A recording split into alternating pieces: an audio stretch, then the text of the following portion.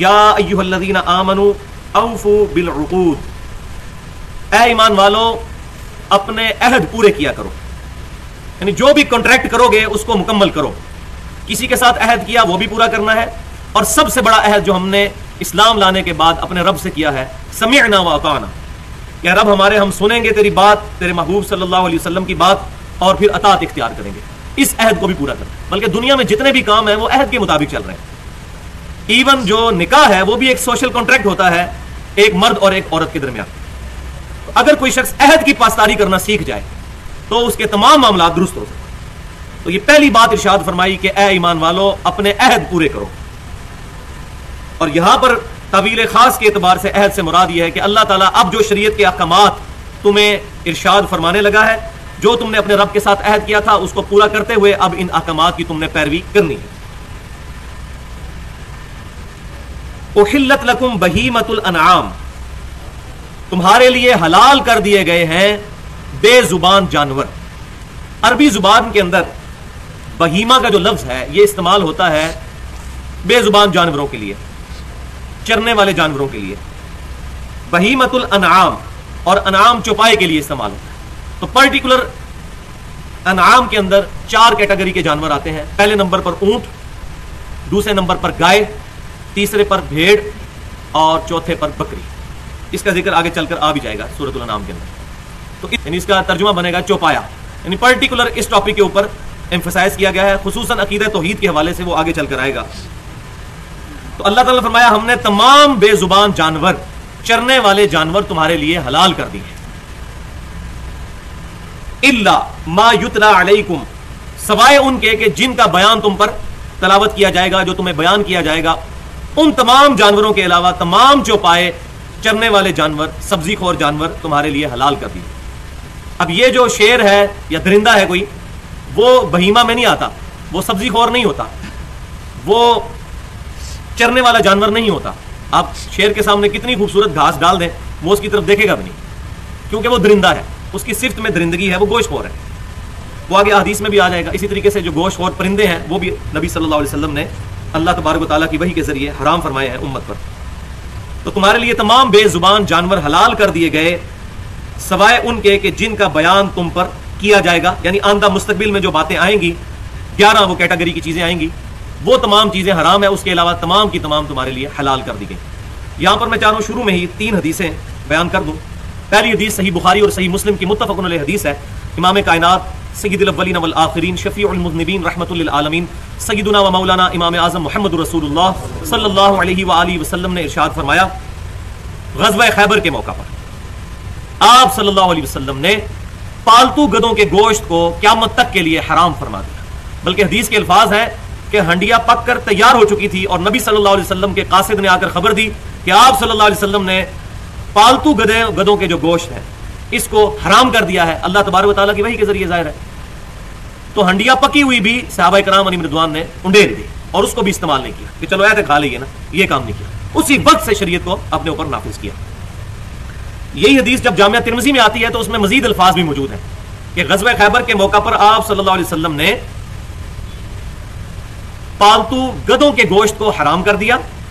पहले वो जो बुहारी मुस्लिम हदीस थी, उसका दूसरा जुज मुझे भूल गया, साथ बयान करना। दूसरा जुज यह है कि घोड़ों को खाने की इजाज़त आप सल्लल्लाहु अलैहि वसल्लम ने दे दी। उसको हराम नहीं फरमाया। और यह भी मिसकॉन्सेप्शन है हमारे सब कॉन्टिनेंट में, वरना किसी भी फिक के अंदर घोड़े का गोश्त हराम नहीं है। इवन इमाम अबू हनीफा रहमत की तरफ़ जो मनसूब है फिक फिक हनफी उसमें भी घोड़े का गोश्त हलाल है। वो सिर्फ़ ये कहते हैं कि चूँकि ये जिहाद और किताल में इस्तेमाल होता है तो इतने ज़्यादा घोड़े जबा ना कर लिए जाएँ कि जहाद के लिए वो अवेलेबल ना हो। बस इससे ज़्यादा उन्होंने बात नहीं की। लेकिन हमारे यहाँ पर माशरे में एक मिसकनसेप्शन है, जिसकी वजह से घोड़े के गोश्त को हराम समझा जाता है और ये पाकिस्तान के अंदर बीमारी है। चाइना में मैं गया हूँ। चाइना के अंदर मुसलमान, हालाँकि हनफी मुसलमान है। घोड़े का गोश्त खाते हैं। तुर्की सारे का सारा हनफी है। घोड़े का गोश्त रेस्टोरेंट्स के अंदर पकता है। लेकिन यहाँ पर मैं ये नहीं कहता खाना को ज़रूरी है। आप सल्लल्लाहु अलैहि वसल्लम ने भी कई हलाल चीज़ें जिनको नहीं खाया। गो का गोश्त बुखारी और मुस्लिम की मुतफ़ हदीस है कि आप सल्लल्लाहु अलैहि वसल्लम के सामने लाकर रखा गया। तो आप सल्लल्लाहु अलैहि वसल्लम ने फरमाया, ये हमारे इलाके की गजा नहीं, मैं इसको खाता नहीं, तुम्हें मना नहीं करता। तो जाती पसंद, नापसंद और चीज़ है, लेकिन हलाल और हराम का फैसला नहीं होगा।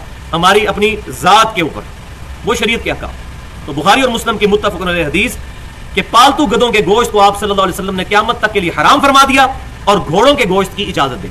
और यही हदीस जब जामिया तिरमिजी में आती है तो उसमें मजीद अल्फाज है कि आप वसल्लम ने खचरों के गोश्त को भी हराम कर दिया। इसी तरीके से आप वसल्लम ने दरिंदों के गोश्त को भी हराम कर दिया और उन परिंदों के गोश्त को भी, जो गोश्त खोर है परिंदे, जैसे ये चील है कौवा है, बाज है, इस तरह के। मुर्गी जो है, ये गोश्त खोर नहीं है, ये सब्ज़ी खोर है, ये दाने खाने वाली तो ये हलाल है। तो शरीयत में कैटेगरीज बता दी जाती हैं, बाकी चीज़ें तमाम उसमें फाल करती हैं। ये नहीं होता कि एक एक चीज़ बयान करनी। मतलब आज के दौर पे कैंगरू है जिस तरह। अब कैंगरू जो है, वो तो हमारे पहले 300 साल के मुसलमानों के ख्वाब में भी नहीं, बात आई होगी कि कैंगरू भी कोई जानवर है। तो चीज़ें बाद में पता चली। तो अब जो लोग कहते हैं जी इमाम मुनीफा रहमत या इमाम मालिक, इमाम शाफी, उन बुज़ुर्गों की तरफ़ ये मनसूख करते हैं कि उन्होंने बताना है कि हलाल क्या है और हराम क्या है। भाई, नबी सल्लल्लाहु अलैहि वसल्लम अपना दीन मुकम्मल करके गए हैं और हलाल और हराम चीज़ों को वाजे बता कर गए आपने कैटेगरी बता दी, और ये कुरान पाक की आयत भी हमने पढ़ ली कि हिल्लत लकुम बहीमा। तुम्हारे लिए बेजुबान चरने वाले जानवर सारे के सारे हलाल कर दिए गए सवाए जिनका बयान तुम पर पड़ा जाएगा, वो हराम है। तो कैंगरू भी सब्ज़ी खोर चरने वाला जानवर, वो हलाल होगा। अब मैंने ये मसला बताया तो आप मेरे मुकलद हो जाएँगे। ऐसा नहीं। इजतहाद क्यामत तक के लिए जारी रहेगा। हाँ कुरान और सुन्नत फिक्स है, और इजमा और इजतहाद ये क्यामत तक के लिए जारी रहेगा। इसी तरीके से भैंस के बारे में अक्सर सवाल हो रहा था जी, बताएँ कुरान हदीस में भैंस कहाँ लिखी हुई है, हलाल। तो हम कहते हैं कि भाई, आगे आयत भी आ जाएगी कि अल्लाह ताला ने फरमाया कि हलाल चीज़ें तुम्हें, तमाम पाकिजा चीज़ें तुम्हारे लिए हलाल कर दी गई हैं। तो ये एक जनरल कैटेगरी के साथ चीज़ें बता दी गई। तो ये बताएँ, कुरान हदीस में भैंस हराम कहाँ लिखी हुई है? अगर हराम नहीं लिखी हुई तो फ़ी नफसी वो चीज़ पाक है, हलाल है। क्योंकि अल्लाह तबार वाली ने हराम चीज़ों की कैटेगरी बता दी है। ना तो भैंस दरिंदा है, और ना वो परिंदा है गोश्त खोर के उसको हराम किया जाए। वो बहीमा के अंदर आता है, बेजुबान चरने वाला जानवर। तो ये तमाम जानवर तुम्हारे लिए हलाल हुए। इल्ला मायुतला अलैकुम। सवाए उनके कि जिनका बयान तुम्हें पढ़कर सुनाया जाएगा, वो थोड़ी देर बाद आ जाएगा।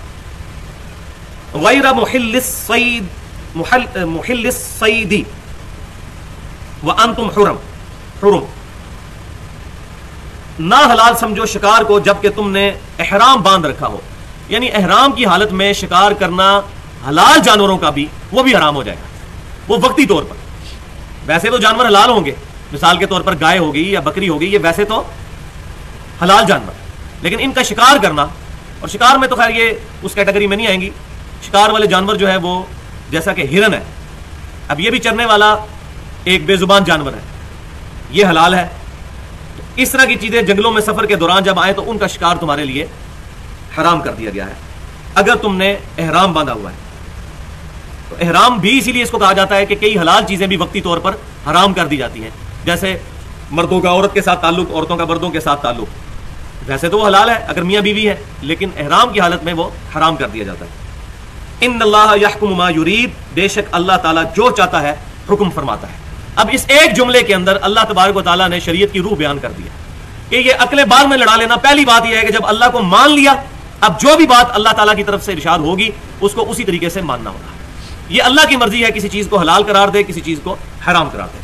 तुम्हें उसकी हिकमत ना भी पता चले, तब भी उसको हलाल को हलाल समझना है और हराम को हराम समझना है। या आमनु, ला तुहिल्लु शाइरल्लाह। ईमान वालो, मत हलाल ठहरा लो अल्लाह ताला की निशानियों वाली जगह जो अल्लाह के शायर हैं, उनकी हुरमत का भी ख्याल रखना है, उनकी भी तोहीन नहीं करनी। जैसा कि सूरतुल बकरा में हम पढ़ चुके इन सफ़ा वल मरवा तमिन शायर सफ़ा और मरवा अल्लाह की निशानियों में से। और ज़ाहिर है कि अल्लाह ताला की निशानियाँ वही हैं कि जिन निशानियों को अल्लाह तबारक ताला ने अपने महबूब बंदों की नस्बत की वजह से उन जगहों को पसंद फरमाया। सफ़ा और मरवा, सईदा हाजरा रदी अल्लाह तहा अल्लाह ताला के लिए नहीं, फ़ी नफसी, उस वक्त तो अपने बेटे की प्यास को बुझाने के लिए वहाँ पर उन्होंने सही की थी, लेकिन अल्लाह तबारक ताला ने उस सुन्नत को हज में शामिल फरमा दिया। सिर्फ़ इसलिए कि उनका वहाँ जाना अल्लाह के लिए था कि इब्राहिम सिर्फ़ अल्लाह की रजा की खातिर अपने कम सिन बेटे को और अपनी बीवी को वहाँ अकेला छोड़े। फिर अल्लाह तबारक ताला ने फिर जमजम को जारी फरमाया। तो इस आयत से यह भी बात पता चली कि जो जो चीज़ें शाहरुल्ला में दाखिल हैं, उन तमाम चीज़ों का एहतराम मुसलमानों के लिए ज़रूरी है। चाहे उसका ज़िक्र वाज तौर पर मौजूद ना हो। अब मिसाल के तौर पर अजान है। अब कहीं भी कुरान और हदीस में इस लफ्ज़ के साथ तो यह बात मौजूद नहीं होगी कि अजान शाहरुल्ला में दाखिल है। लेकिन यह दाखिल है क्योंकि ये इस्लाम की बड़ी निशानियों में से अब कोई अजान का मज़ाक उड़ाता है, अजान हो रही है और कोई उस पर कोई ऐसे कमेंट्स पास कर देता है। और अगर वाकई तहकीर की नीयत से किए तो फिर तो इस्लाम से खारिज हो जाएगा। अगर बेवकूफ़ी की बना पर किए तो तब हराम तो कम अज कम वो होगा। वलशाहर हराम, और ना ही इज़्ज़त वाले जो महीने हैं, उनकी हुरमत को पामाल करो। शाहरुल्लाह की भी हुरमत को पामाल नहीं करना, और हुरमत वाले चार महीने जो हैं, जिनके अंदर अल्लाह तबारक ताला ने किताल करना भी मना कर दिया था। वो अरब की ट्रेडिशंस में ट्रेडिशन में आप सल्लल्लाहु अलैहि वसल्लम से पहले भी वो चीज़ें मानी जाती थी कि चार महीने ऐसे हैं जिनके अंदर लड़ाई और जंगो जदल करना मना। उनमें पहला महीना जो है वो रजब का, जो अभी ये गुजर रहा है, आज चार या पाँच तारीख है, चौदह सौ तैतीस हिजरी। और फिर तीन मुसलसल महीने हैं, जिकादा का जुलहिजा का, जो हज वाला महीना पर्टिकुलर और उसके बाद मुहर्रम। ये चार महीने हुरमत वाले महीने हैं जिनकी हुरमत है, जिनमें किताल करना, लड़ाई करना अल्लाह तबारक वाली ने हराम फरमा दिया। वलल हदिया, और ना ही कुर्बानी के जो जानवर हैं, जो हज के लिए आगे भेजे जाते हैं, हदी के जानवर, उनकी भी बेरहमती मत करो। वो भी अल्लाह ताला के साथ उनकी नस्बत हो चुकी है। वलल कलाइदा, और ना ऐसे जानवर के जिनके गलों में पट्टे डाल दिए गए हैं कि वो अल्लाह तबारक व ताला की राह के जानवर हैं, निशानी के तौर पर। उनकी भी हुरमत का ख्याल रखना ये देखें, जानवरों की हुरमत। इंसानों की नहीं बात हो रही, जानवरों। क्योंकि जिस जिस चीज़ को अल्लाह तबारक व के दीन के साथ नस्बत होती चली जाएगी तो असल तो वो बुनियाद वही है। उल इन सलाती व नुसुकी व महिया व ममाती रबालमीन ए महबूब आप फरमा दीजिए, बेशक मेरी नमाज़, मेरी कुर्बानी, मेरा जीना, मेरा मरना सब अल्लाह के लिए। इसके तहत जिन जिन चीज़ों को अल्लाह ताला के साथ नस्बत हो जाएगी, उन चीज़ों का एहतराम करना ज़रूरी है। वला आमीन अलबैत और मत बेरहमती करो उनकी कि जिन्होंने कसद किया हुआ है बैतुल बैतुल्ला शरीफ का, हज के लिए। जब तगून फजलम जो तलब करते हैं अपने रब का फजल व रिबवाना और उसकी रजा। जो लोग हाजी हैं, जो जाने वाले हैं, अल्लाह की राह के हज के मुसाफिर हैं, उनका भी एहतराम करना है। अभी तक यहाँ पर जितनी चीज़ें बयान हो रही हैं, इस पॉइंट ऑफ़ व्यू से बयान हो रही हैं कि इन तमाम चीज़ों को अल्लाह ताला की नस्बत की वजह से उनकी हुरमत को पामाल नहीं करना। और आगे एक पर्टिकुलर बात भी आ जाएगी वह इदा हलल तुम फस्तादू और जब तुम एहराम खोल दो, हलाल हो जाओ तो शिकार कर सकते हो। वला यजरिमन्नकुम शनाआनु कौमिन अन सद्दूकुम अनिल मस्जिदिल हराम और हरगिज ना उकसाए तुम्हें किसी कौम का बुस। बवजह इसके कि उन्होंने रोका था तुम्हें मस्जिद हराम से। यानी अब मुसलमानों की अगर हुकूमत हो चुकी है मक्का शरीफ पर तो अब मुसलमानों को यह शाया नहीं है कि मुसलमान अपने पिछले बदले जो है वो उतारने शुरू कर दें। और खाना काबा शरीफ की हुरमत का भी ख्याल ना रखें। बल्कि इस्लाम से पहले भी अगर सगे बाब के कातिल को भी कुफार मक्का मस्जिद हराम में देख लेते थे तो उससे बदला नहीं लेते। इतना मस्जिद हराम की हुरमत का ख्याल रखते थे। अनिल मस्जिद हरामी अलतादू कि तुम ज़्यादा करने लग पड़ो। बतावनु अलबिर तकवा और ताउन करो, मदद करो एक दूसरे की परहेजगारी के कामों में। वला तावनु वल उदवान। और गुनाह और ज्यादती के कामों में एक दूसरे की मदद मत करो। अब इस एक आयत पे ही घंटों बोला जा सकता है। यह इस्लामिक फलसफा है नेकी का। कि नेकी और परहेजगारी के कामों में एक दूसरे की मदद करनी है। जैसे उर्दू में बोला जाता है, नेकी और पूछ पूछ जब कभी मौका मिले तो नेकी के कामों में एक दूसरे का साथ देना है और बुराई के कामों में नहीं देना, रिश्तेदारी का ख्याल रखते हुए या करीबी किसी के साथ दोस्ती का ख्याल रखते हुए हराम काम पर नहीं अपने आप को उकसा लेना, सिर्फ़ परहेजगारी के कामों में एक दूसरे का साथ देना और ये पर्टिकुलर उस वक्त होता है जब बाज़ात आपकी किसी के साथ खास दोस्ती हो और उसका मामला किसी और के साथ हो जाए और आपको मामले में ये बात समझ आ जाए कि मेरे दोस्त ने ज़्यादा की है और वो आपको गवाह के तौर पर पेश करे, जी, ये पूछ लो वो, कि कसूर उसका है। तो आपके लिए बहुत बड़ा इम्तिहान आ जाएगा कि मैं अगर आप सच बोलता हूँ तो दोस्ती की जाती है मेरी। और अगर झूठ बोलता हूँ तो अल्लाह ताला की बारगाह में मुजरिम होता हूँ तो ये काम नहीं करना। अल्लाह तबारक ताला की नस्बत का ख्याल रखना है। नेकी और परहेजगारी के कामों में एक दूसरे की मदद करनी है और बुराई के कामों में हरगिज एक दूसरे की मदद नहीं करनी। अब हमारी सब कॉन्टिनेंट की बदकिस्मती है कि इस तरह की आयतें फिर तोहीद के मुनाफी अकायद रखने वालों ने इस्तेमाल करनी शुरू कर दी है। कुरान पाक के शुरू में हम पढ़ चुके हैं ईया का नाबुदू व ईया का नस्ताइन अल्लाह, हम सिर्फ़ तेरी इबादत करते हैं और गायब में मदद सिर्फ़ तुझी से मांगते हैं। अप्रोप्रिएट ट्रांसलेशन होगी गायब में मदद। ज़ाहिर इस बाब में तो आप एक दूसरे से मदद मांग सकते हैं, ये आयत आ गई कि नेकी और परहेजगारी के कामों में एक दूसरे की मदद करो और बुराई के कामों में एक दूसरे की मदद ना करो। तो ज़ाहिर इस बाब में एक दूसरे की मदद करना ये कुरान के हुक्म में दाखिल और अक्सर आप सुनते होंगे मौलवियों से, और जी, एक बंदा दरिया में डूब रहा है, किसी को मदद के लिए ना पुकारे, ये शिरक हो गया। और जी, हम घर में जब जाते हैं, अपनी माँ से रोटी ना मांगे, ये गैरुल्ला से मदद, ये शिरक हो गया। किसी से पानी पीने के लिए ना मांगे, ये तो शिरक हो जाएगा। भाई, ये चीज़ें शिरक नहीं है। ये कुरान के इस हुक्म में दाखिल है कि नेकी और परहेजगारी के कामों में एक दूसरे की मदद करनी जारी इस बात में। शिरक क्या है? आप मेरे सामने बैठे हुए मैं आपको कहता हूँ, भाई, पानी पिला दें। और आप मुझे पानी पिला देते हैं, अपनी तरफ़ से नेकी करते हैं। अल्लाह के हजूर, अजर लिखा जाएगा। लेकिन आप बैठे हुए बगदाद शरीफ में और वहाँ भी कबर शरीफ के अंदर और मैं यहाँ से बैठ कहता हूँ कि, भाई, पानी पिला दें। वही बात, वही जुमला, वही बंदा, ये गायब में पुकारना होगा, ये शिरक हो जाएगा। ईया का नस्ताइन के खिलाफ हो जाएगा। दुआ सिर्फ़ अल्लाह ही से करनी है। गायब में मदद के लिए पुकारना यह दुआ है। अगले दिन मुझे एक शिया भाई ने मेल की कि आप ये गायब में मदद कहते हैं, इसका मतलब है जो सामने मौजूद है उससे मदद ली जा सकती है। मैंने कहा हाँ जी तो कहते हैं अगर बुद्ध सामने हो तो उससे मदद लेना कैसे? देखा कैसा दिमाग काम करता है। तो बुद्ध को पुकारना भी गायब में पुकारना है। इसलिए कि वो हमारी डोमेन से तो बाहर है। बुद्ध किसी की बात सुनता है, वो हमारी डोमेन में नहीं आता। बाज़ार आपके सामने मौजूद है, लेकिन आपकी डोमेन से बाहर है। जिस तरह एक जो बंदा कबर में दफन है, कबर तो आपके सामने मौजूद है। हम दुआ भी पढ़ते हैं, सही मुस्लिम में है। अहलदियारी मिनल मुस्लिमीन। ए मुसलमान घर वालों और मोमिन और मुस्लिमीन, तुम पर अल्लाह की सलामती हो। ज़ाहिर है वो कब्रों में होते हैं, लेकिन ये कहीं नहीं है कि वो खुद सुन लेते हैं। अल्लाह तबारक ताला हमारी तरफ़ से सलामती की दुआओं तक पहुँचा देता है। उनका फ्रेम ऑफ़ रेफरेंस बिल्कुल डिफरेंट। तो जब गायब की बात की जाती है तो ये नहीं है कि बुद्ध सामने तो उसको पुकारा जा सकता है। ये तो इस छोटे लेवल की चीज़ है जो एक बेवकूफ़ को भी ये बात पता है। तो सूरत अंबिया के अंदर आता ना इब्राहिम इस्लाम का वाक्य डिटेल में? जब इब्राहिम इस्लाम ने सारे बुत तोड़ दिए तो अल्टीमेटली उन्होंने कहा एक नौजवान है इब्राहिम जिसका नाम है। उसको हमने सुना था कि वो हमारे बुतों को बुरा कहता था। बुलाओ उसको। तो इब्राहिम इस्लाम से पूरी डिबेट हुई। उन्होंने एक ही बात कांटे की। की उन्होंने कहा, बात यह कि इनसे पूछ लो ना। उन्होंने सर झुका ली और आपस में कनखियों से बात करने लगे कि तुझे तो पता है ये सुनते तो है नहीं है। तो फिर उन्होंने कहा उफ लकुम। तुम पर उफ है और जिनको तुम अल्लाह के अलावा पूछ रहे हो, इन पर भी। तो बुद्ध को पुकारना भी बेसिकली वो हमारी डोमेन से बाहर है, ना वो किसी के सुनने पर। इसी तरीके से फरिश्तों को पुकारना। फरिश्तों ये पैगाम दे दो कि खादिम तुम्हारा सही दार है। फरिश्ते को नहीं हम पुकार सकते। ना फरिश्ता हमारा मुलाजिम है कि हमारी को बात लेके जाएगा। अल्लाह जो उसको ड्यूटी लगाएगा, वो उसने पूरी करनी। वरना तो दो फरिश्ते यहाँ बैठे, मैं इनको कहूँगा, जी, मेरा सलाम नबी तक पहुँचा दे। कितनी नॉनसेंस बात है। गायब में अल्लाह के अलावा किसी को भी पुकारना मदद के लिए, मदद के लिए, ये अल्फाज याद रखें। खाली गायब में पुकारना शिरक नहीं है। हम नमाज़ में पुकारते हैं। अस्सलाम नबी और बुखारी मुस्लिम के अल्फाज है, जब तुम ये पढ़ोगे, ज़मीन और आसमान में जहाँ जहाँ अल्लाह का नेक बंदा है, अस्सलाम अल्लाह ताला उन तमाम नेक बंदों तक तुम्हारा सलाम पहुँचा देगा। और ये बिल्कुल झूठी बात है कि ये शब मराज की गुफ्तु है। ये तो बरेलवियों से हाजर नाजर के अकीदे में डिबेट करते हुए झूठी बात जो है वो पब्लिक के अंदर आ गई। हालाँकि कोई साबित नहीं है।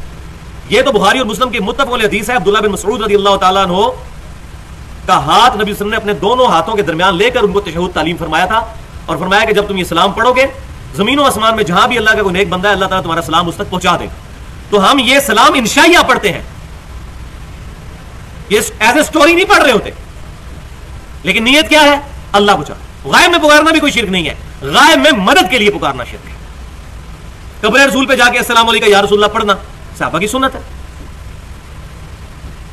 हमारा जो रिसर्च पेपर है, रसूलुल्लाह की आखिरी वसीत है, उसमें अब्दुल्ला बिन उमर रदी अल्लाह तआला से रवायत लिख दी है, अलमुसन्नफ इब्न अबी शैबा में। ग्यारह हज़ार नौ सौ तिरानवे नंबर रवायत। आप रदी अल्लाह तआला जब भी कब्र रसूल पर जाते थे, अस्सलाम या रसूल्ला पढ़ते थे। फिर सईदना की कब्र पे आके अस्सलाम या अभी बकर, और अपने वालिद की कब्र पे आके अस्सलाम या अबता तो हालाँकि है, वो भी गायब है। बेशक कब्र सामने मौजूद है, लेकिन वो डोमेन से तो बाहर है। वो आलम बरजक में ज़िंदा है, अंबिया कराम और शहदा, और हम इस दुनिया में ज़िंदा हमारी कोई डायरेक्ट कम्युनिकेशन नहीं, बल्कि अल्लाह ताला पहुंचाता है। यहाँ हम पढ़ने को कोई शिरक नहीं कहते। शिर कहते हो तो हम खुद भी शिर कर रहे हैं। हम सिर्फ़ कहते हैं, यहाँ से अस्सलाम या रसुल्ला का सीगा साबित नहीं इसी वाला सीगा जो है, वो नमाज़ में साबित है, वो हम पढ़ते हैं, अस्सलाम नबी।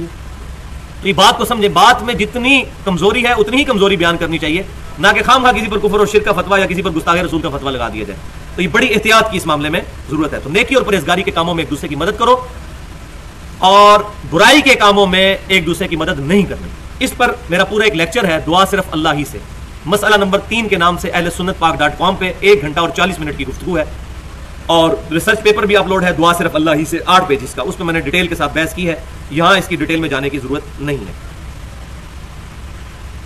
वत्तकुल्लाह, और अल्लाह का तकवा इख्तियार करो। इन अल्लाह शदीदुल रिकाब, बेशक अल्लाह ताला सख्त अजाब देने वाला है। अल्लाह के तकवे की तलवार हर वक्त इंसान के सर पर लटकती रहनी चाहिए। इंसान का किबला ही उस वक्त दुरुस्त होता है कि जब अल्लाह का तकवा दिल में, और बल्कि मैं एक बहुत बड़ा जुमला बोलने लगूं, अगर इसको आप गौर से समझें, कि अल्लाह ताला की शरीयत का भी मज़ाक उड़ाया जा सकता है अगर तकवे को निकाल दिया जाए बीच से। अल्लाह की शरीयत के आकाम भी नाकिस हैं, बगैर तकवे के। तकवे का चेक है। तलाक के जहाँ काम आए सूरतुल बकरा में, अल्लाह ताला फरमाता है कि अगर बीवियों से रुजू करो तो देखना अल्लाह से डरना, बसाने की नीयत से करना, उनको जलील करने की नीयत से नहीं। अब इसके ऊपर कोई चेक नहीं, कोई दुनिया का कानून नहीं है जज कर सकता। कि एक बंदे ने अपनी बीवी को एक तलाक दी फिर उसको सस्पेंड रखा। छह सात महीने के बाद नया निकाह करके उससे रुजू कर लिया, क्योंकि एक तलाक हुई थी, तीन तो नहीं हुई थी। और नियत यह कि फिर इसको पाँच छह महीने रख के फिर छोड़ दूँगा, दलील करूँगा। अब कानून आपको कोई नहीं मना कर सकता। लेकिन अल्लाह के हजूर, आप वो जायज़ काम करते हुए भी मुजरिम है क्यों? कि अल्लाह के अकाम मुकम्मल होते हैं तकवे के साथ गॉड कॉन्शियसनेस के साथ। तकवे के बगैर शरीयत के अकाम भी मज़ाक बना लिए जाएँगे। जैसा कि बनी इसराइल ने किया, हफ़्ते के दिन का शिकार मना था उनको, और उन्होंने क्या तमाशा किया? फिर अल्लाह तला ने उनको फिटकारे हुए, बंदर भी बना दिया तो शरीयत का मज़ाक नहीं उड़ा। जैसा अफ्ताव आलमगिरी के अंदर एक मसला मौजूद है कि किसी फिका हनफी का इमाम उनीफा की तरफ़ मंसूब है। हम इमाम उनीफा रहमत के बारे में उसने जन रखते हैं, क्योंकि उनकी तरफ़ जो मशहूर बातें हैं, अक्सर बातें उनकी वफात के दो ढाई सौ साल बाद लिखी गई हैं, बगैर सनत के।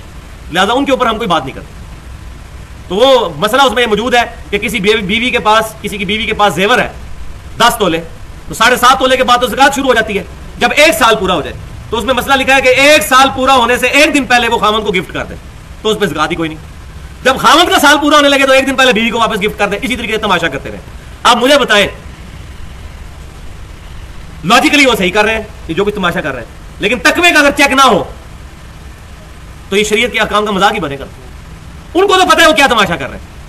अब वो आगे से कहेंगे, बताएँ कुरान में एक गलत लिखा हुआ है। तो हम कहते हैं कुरान हदीस में जहाँ भी शरीयत के अकाम आए हैं बार बार जो कहा गया वत्तकुल्ला वत्तकुल्ला वत्तकुल्ला इसका मतलब यही है। आपको ना समझ आए तो अलग बात है, इसका मतलब यह है, तकवे के बगैर इंसान कभी भी शरीयत के अहकाम की पासदारी नहीं कर सकता। अपने आप को धोखा दे रहा हूँ, अंदर जो दिल में मुफ्ती बैठा है, वो बता देगा, भाई, गलत किया तुमने। ऊपर है जो मर्ज़ी, बंदा करता रहे वत्तकुल्लाह, अल्लाह का तकवा इख्तियार करो इन अल्लाह इकाब, बेशक अल्लाह ताला सख्त अजाब देने वाला गिरफ्त फरमाने वाला। अब अगली आयत के अंदर ग्यारह चीज़ें वो जिनका ज़िक्र शुरू में हुआ था कि तुम तुम्हारे लिए तमाम जानवर बेजुबान हलाल कर दिए गए, सवाए उनके कि जो जो तुम पर पढ़कर सुनाए जाएँगे, वो ग्यारह चीज़ों का बयान यहाँ पर आने वाला है। वो ग्यारह चीज़ें कौन सी हैं जो अल्लाह ताला ने हमेशा के लिए हराम फरमा दी हैं? ये है अब शरीयत इस्लामिया का फाइनल कंक्लूजन हुर्रिमत अलैकुमुल मैततु, हराम किए गए हैं तुम पर मुर्दार। हलाल जानवर भी अगर अपनी मौत मर जाए, जबा किए बगैर तो वो हराम होगा। सवाए समुद्री जानवरों के। सही बुखारी और मुस्लिम की मुतफ़ हदीस है कि एक गजबे के दौरान अबू बैदा इबन जर्रा रदी अल्लाह तला मुसलमानों के अमीर थे तो भूख की कैफियत हुई। समुंदर के किनारे वो सफ़र कर रहे थे तो अल्लाह तबारक व ने उन पर ऐसी करामत फरमाई कि बहुत बड़ी मछली और वो वेल मछली होगी, वो हदीस के अगले अल्फाज से बात पता भी चल जाएगी। इतनी बड़ी मछली जो है वो साहिल समुद्र पर आकर गिर गई। मछली जो है, उसको अल्लाह तबारक ने मुर्दा हालत में भी हलाल कर दिया। उसको जबा करना ज़रूरी नहीं होता। समुंदर का मुर्दार जो है वो हलाल है। लेकिन समुंदर का वो जानवर जो बाहर ज़िंदा ना रहता हो, समुंदर में ही रहता हो, बाहर निकलने से मर जाए। तो इतनी बड़ी मछली जो है वो बाहर आ गई बुहारी और मुस्लिम के अल्फाज है। साहब कराम मृदवान कहते हैं, हम पंद्रह दिन खाते रहे। गोश्त नहीं खत्म हुआ। बचा के भी रख लिया। और कहते हैं कि इसी दौरान जब उसकी हड्डियाँ बाहर निकली तो अबू बैदा इब्न जरा रदी अल्लाह ने हुक्म दिया कि इसकी दो हड्डियाँ यूँ जोड़ी जाए। ऐसे कर। वो हड्डियाँ जो है वो जोड़ी गई। जब वो हड्डियाँ जोड़ी गई तो एक ऊँट सवार उनके नीचे से गुजर गया। इतनी ऊँची थी वो हड्डियाँ। तो वेल मछली होगी। हालाँकि यहाँ कई लोग हैं जो वेल मछली को आराम समझते हैं, वो कहते हैं वो मेमल है। बेशक मेमल है वो। हिमालय जानवर है बच्चों को दूध पिलाता है, लेकिन समुद्री जानवर है, वो हलाल है। इतनी बड़ी को और मछली दिखाए ना कि जिसके नीचे से ऊँट गुजर जाए, ऊँट सवार। इतनी बड़ी उसकी हड्डियाँ हो। फिर उन्होंने गोश्त बचा के रख लिया। नबी सल्लल्लाहु अलैहि वसल्लम से ज़िक्र किया तो आप सल्लल्लाहु अलैहि वसल्लम ने फरमाया कि ये अल्लाह की तरफ़ से तुम्हारे लिए तोहफा था। अगर कुछ गोश्त बचा हुआ है तो मुझे भी दो। तो उन्होंने गोश्त दिया तो नबी सल्लल्लाहु अलैहि वसल्लम ने उस गोश्त को तनावल फरमाया तो पक्की मोर लगा दी कि ये जानवर हलाल है। तो मुर्दार हराम है। ये अगर कोई गाय मर जाए, बकरी मर जाए, भैंस मर जाए, ऊँट मर जाए, खुद ब खुद अपनी मौत तो वो मुर्दार हराम। वह दम और खून। खून भी हराम है। खून को पीना हराम है। खून खुद तो पाक है, इसमें इख्तलाफ है, लेकिन जमूर की राय यह है कि खून फ़ी नफसी पाक है, लेकिन इसका पीना हराम है। वह लहमुल खिंजीर, और खिंजीर यानी सुअर का, पिग का गोश्त यह भी तुम्हारे लिए हराम है। अब अक्सर लोग ये बात पूछते भी हैं, जी हिकमत क्या है? तो भाई हिकमत तो पहले ही बयान हो चुकी है। इन अल्लाह युरीद। बेशक अल्लाह ताला हुक्म देता है तुम्हें जो चाहता है। सबसे बड़ी हिकमत तो यह है कि अल्लाह की तरफ़ से हुक्म है। अब कई चीज़ें ऐसी हैं जिनकी आप साइंटिफिक रीजन बता सकते हैं। और कई चीज़ें हैं जिनकी आप साइंटिफिक रीजन नहीं भी बता सकते, वो डोमेन से बाहर है। मिसाल के तौर पर साइंस कभी भी फरिश्ते डिटेक्ट नहीं कर सकती। इनको डिटेक्ट नहीं कर सकती। ये हमारी डोमेन से बाहर है। साइंस कभी भी जिन्नों का जो वजूद है, उसको फिजिकली ऑब्ज़र्व नहीं कर सकती। ये हमारी डोमेन से बाहर साइंस सिर्फ़ फ़िज़िकल फिनोमिना ऑफ़ नेचर के साथ बहस करती है। हवा के साथ, पानी के साथ, जो फिजिकली चीज़ें मौजूद है, जो हमारी डोमेन में आती लिहाजा जो मॉरल लाज अल्लाह ताला की तरफ़ से शरीयत के बनाए गए, ये जो लाज है, शरीयत के जो अकाम है, इनकी कोई हिकमत हमें साइंटिफिकली ना भी पता चले, तब भी इनको मानना होगा। बाज़ ऐसी हमतें होती हैं जो वक्त के साथ साथ साइंटिफिकली एक्सप्लोर हो जाती हैं। नेशनल जोग्राफिक चैनल जो है डिस्कवरी चैनल और एनिमल प्लानट ये जो तीन चैनल्स हैं अमेरिका के, ये सारे इन्हीं चीज़ों के ऊपर डिस्कशन कर रहे होते हैं। तो खंजीर के अंदर एक बहुत बड़ी खराबी है, जो कि इंसान की अखलाकियात को बिगाड़ सकती है। कि वहाँ पर जो खंजीर की एक मादा जो है, उसका रिलेशनशिप कई नरों के साथ होता है। हालाँकि बाकी जानवरों में यह मामला नहीं होता। इवन इसके अलावा जो हराम जानवर है, उनमें भी नहीं होता। इसी तरीके से दरिंदों का गोश्त जो है, वो हो सकता है इस वजह से आराम किया गया हो कि इंसान में दरिंदगी वाली सिफ्त न पैदा हो जाए। तो ये हम लॉजिक ज़रूर दे सकते हैं, किसी हद तक। लेकिन चूँकि ये मॉरल लाज है, ये डिटेक्ट नहीं हो सकते। ये डिटेक्ट नहीं हो सकते। आप झूठ बोलेंगे, ज़ुबान नहीं चलेगी हराम माल खाएँगे, पेट में दर्द नहीं होगा। लेकिन ज़ुबान पर आग रख ले तो ज़ुबान चल जाएगी। क्योंकि ये तमाम मॉरल लाज है। लेकिन ये बात याद रखें, दुनिया में जितने मॉरल लाज है, ये आखिरत में जाकर एक्टिव हो जाएँगे। अभी डॉर्मेंट पोजीशन में। इसीलिए फरमाया गया कि जो यतीमों का माल खाते हैं, अपने पेटों में दोजा की आग भर रहे हैं। यहाँ तो नहीं पता चलेगा उनको। वो आखिरत में वही खाया हुआ माल दोजा की आग बन जाएगा उनकी मॉरल लाज एक्टिव हो जाएँगे। तो मॉरल लाज हमेशा अंबिया कराम अलीसलाम अल्लाह तबारक वाली की वही के ज़रिए सिखाते हैं। लेकिन कुछ मॉरल लाज जो है, वो हमारी इंस्टिंक्ट के अंदर शामिल है। मतलब दुनिया के हर कानून के अंदर झूठ बोलना, बुरी चीज़ है, सच बोलना अच्छी चीज़ है। किसी को धोखा देना बुरी चीज़ है, किसी के साथ खैर खाई करना अच्छी चीज़ है। अंबिया कराम की तालीमत ना भी हो, तब भी अखलाकी हिस्स जो अल्लाह ने हमारे अंदर रखी है, उसकी वजह से इंसान काफ़ी सारी बुराइयों को जज कर सकते हैं। आज भी हॉलीवुड की फ़िल्म के एंड में भी सच की जीत दिखाई जाती है और झूठ की शिकस्त दिखाई जाती है। क्यों? ये इंसान के अंदर अल्लाह तला ने अखलाकी हिस्स रख दिया इसकी वजह से इंसान अकाउंटेबल है? चाहे उस तक किताबों का और अंबिया का इल्म ना भी पहुँचा, तब भी अल्लाह की बारगाह में वो इतने दर्जे का अकाउंटेबल ज़रूर है। तो अल्लाह तला फरमा रहा है, तुम्हारे लिए मुर्दार हराम, खून हराम, खिंजीर का गोश्त हराम, वमा ही और वो जानवर भी तुम्हारे लिए हराम कर दिए गए कि जिन पर अल्लाह के अलावा किसी और का नाम लिया जाए। खसूसन जिबा के वक्त, अल्लाह के अलावा किसी और के नाम पर जिबा किए जाएँगे तो वो जानवर हराम होंगे। और अगर अल्लाह के नाम पर जबा होंगे, चाहे वो हलाल करने वाला, क्रिश्चियन और जीव में से ही क्यों ना हो यहूदी ईसाई, अगर अल्लाह का नाम लेकर करेगा तो वो जानवर हलाल हो जाएगा, वो आगे बात आ भी जाएगी। तो हलाल जानवर, अगर कोई अल्लाह का नाम लेकर हलाल करेगा तो वो हलाल होगा, अल्लाह के अलावा किसी और का नाम जिबा के वक्त लेगा तो वो जानवर हराम हो जाएगा या खामोश रहेगा, तब भी हराम हो जाएगा। बिस्मिल्लाह अल्लाह अकबर तकबीर पढ़नी है, कम अज कम अल्लाह ज़रूर कहना है। और इतनी आवाज़ से कि कान अपने सुन ले। शरीयत में जब भी कहा गया ना कि ये काम करना है या कहना है तो इससे मुराद यह है कि कम अज कम अपने कान खुद सुने। नमाज़ के लिए भी शर्त है कि अपने कान खुद सुन रहे हो। कान खुद सुनने से मुराद नहीं कि यहाँ से निकल के बाद बाहर जा रही हो, अंदर से बिल्कुल आहिस्ता साथ वाला ना सुने, आप खुद सुन रहे हो। अदरवाइज़ नमाज़ भी नहीं होती। दिल में कोई पढ़ता रहे, उसकी नमाज़ नहीं होगी। दिल में कोई तकबीर पड़ेगा तो जानवर हराम ही रहेगा जब तक ज़ुबान से ना अदा करे। दिल में तलाक देगा, तलाक नहीं होगी जब तक ज़ुबान से अदा ना करे। बीवी को सुनाना शर्त नहीं, खुद सुनना शर्त तो जहाँ भी शरीयत ने कहा बोलने का या पढ़ने का तो उससे मुराद कम अज कम इतनी आवाज़ से कि अपने कान खुद सुन ले। इसी तरीके से अगर कोई कसम उठाता है तो उसके लिए भी ये अल्फाज अपने कानों तक पहुंचाना ज़रूरी है। अगर दिल में ही चल रहा है तो वो नहीं कसम होगी। हाँ मन्नत दिल में मानी जा सकती उसका मामला बिल्कुल डिफरेंट तो अल्लाह ताला फरमा रहा है, जिस पर गैरुल्लाह का नाम लिया गया, वो जानवर भी तुम्हारे लिए हराम है। जिबा के वक्त मुतलकन किसी चीज़ पर गैरुल्लाह का नाम बोला जाना, ये कोई शिरक नहीं है, ना इसकी कोई जानवर हराम हो जाता है। मसलन, मैं कुर्बानी का बकरा लेके आया हूँ। तो उस बकरे पे यही बोला जाएगा कि ये मोहम्मद अली का बकरा है। तो अब गैरुल्लाह का नाम बोला गया तो जानवर ही नाम हो गया। नहीं, जिबा के वक्त किसकी खुशनुदी के लिए जिबा हो रहा है? ये बाल पॉइंट, मेरी बाल पॉइंट है। अब इस पर भी गैरुल्लाह का नाम बोला जाए हराम हो जाएगी? नहीं। तो ये दोनों एक्सट्रीम्स में बयान कर रहा हूँ। खाली नाम बोलने से चीज़ आराम नहीं हो जाएगी। हराम उस वक्त होगी जब किसी और की खुशनुदी उसमें शामिल हो जाएगी। अल्लाह के अलावा। मिसाल के तौर पर कोई कहता नहीं मैं ये इसलिए काम कर रहा हूँ कि इसकी वजह से फलां जो बुज़ुर्ग है वो खुश हो जाए। तो अब ये गैरुल्लाह की खुशनुदी के लिए हो गया। तो ऐसा जानवर भी फिर हराम होगा और आगे आ भी जाएगी उसकी बात मैं उस वक्त वो हदीस, बड़ी सख्त हदीस है, वो बयान करूँगा उसी मौके के ऊपर। तो जिस पर जिबा के वक्त पर्टिकुलर और वैसे भी किसी और की खुशनुदी के लिए नाम बोला गया, अल्लाह के अलावा किसी और का नाम तो वो चीज़ हराम हो जाएगी। लेकिन ये नीयत पे डिपेंड करता है, खाली ज़ुबान से नहीं, नीयत भी सही हो।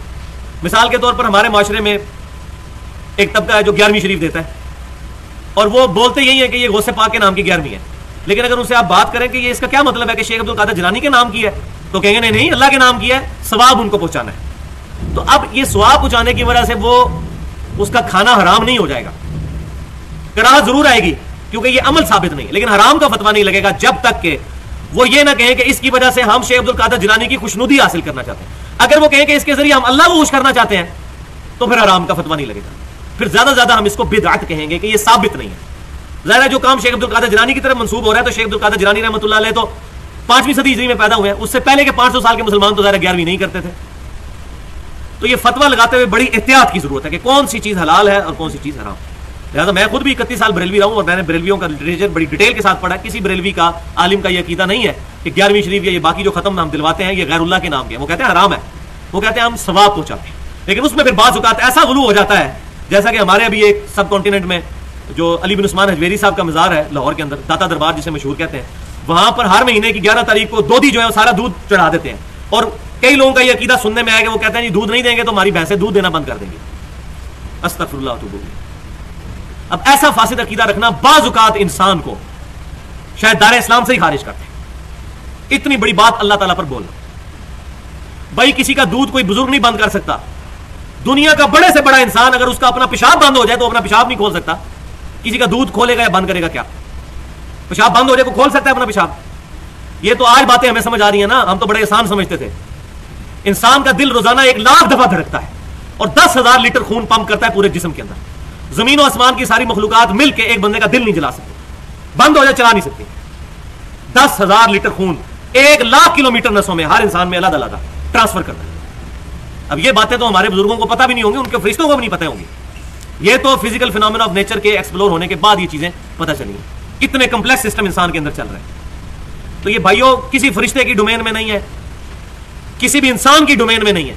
ये तो अल्लाह तबारक वाली है, जो फरमाता है कि हम गोबर और खून में से तुम्हें निथरा हुआ दूध पिला देते हैं। आगे चलकर आ भी जाएगा सूरत नहल के अंदर। ये दूध तो अल्लाह की निशानियों में से है। और मैं सिर्फ़ सोचता था कि दूध का ज़िक्र पर्टिकुलर क्यों कुरान में है? भाइयों, पूरी इंसानियत दूध पे चल रही है। दूध खत्म हो जाए तो बच्चे बड़े ही नहीं हो सकते बगैर दूध के। और आजकल जो सूरत हाल है, औरतों का दूध ही पूरा नहीं होता। भैंस और गाय के दूध के ज़रिए सिलसिला चलता है। पूरी इंसानियत चल रही है दूध के ऊपर। इसीलिए अल्लाह ताला ने खसूसियत से दूध का ज़िक्र किया। तो ये अल्लाह तबारक ताला इन मामला को चलाने वाला है। तो जिस पर गैरुल्लाह का नाम बोला गया, वो भी तुम्हारे लिए हराम कर दी गई, जिबा के वक्त या गैरुल्लाह की खुशनुदी के लिए। अब अगली चीज़ क्या आ रही है? चार चीज़ें बयान होगी, पांचवी चीज़। वल मुन खानी कातू और ऐसा जानवर जो गला घोंट कर मारा जाए, वो भी हराम। है मैं कुछ अर्सा पहले नेशनल जोग्राफी पे एक प्रोग्राम देख रहा था कि तिब्बत के इलाकों में जो लोग हैं ना, वो बकरी वगैरह को जबा नहीं करते, वो कहते हैं ये बकरी को इससे तकलीफ़ होगी।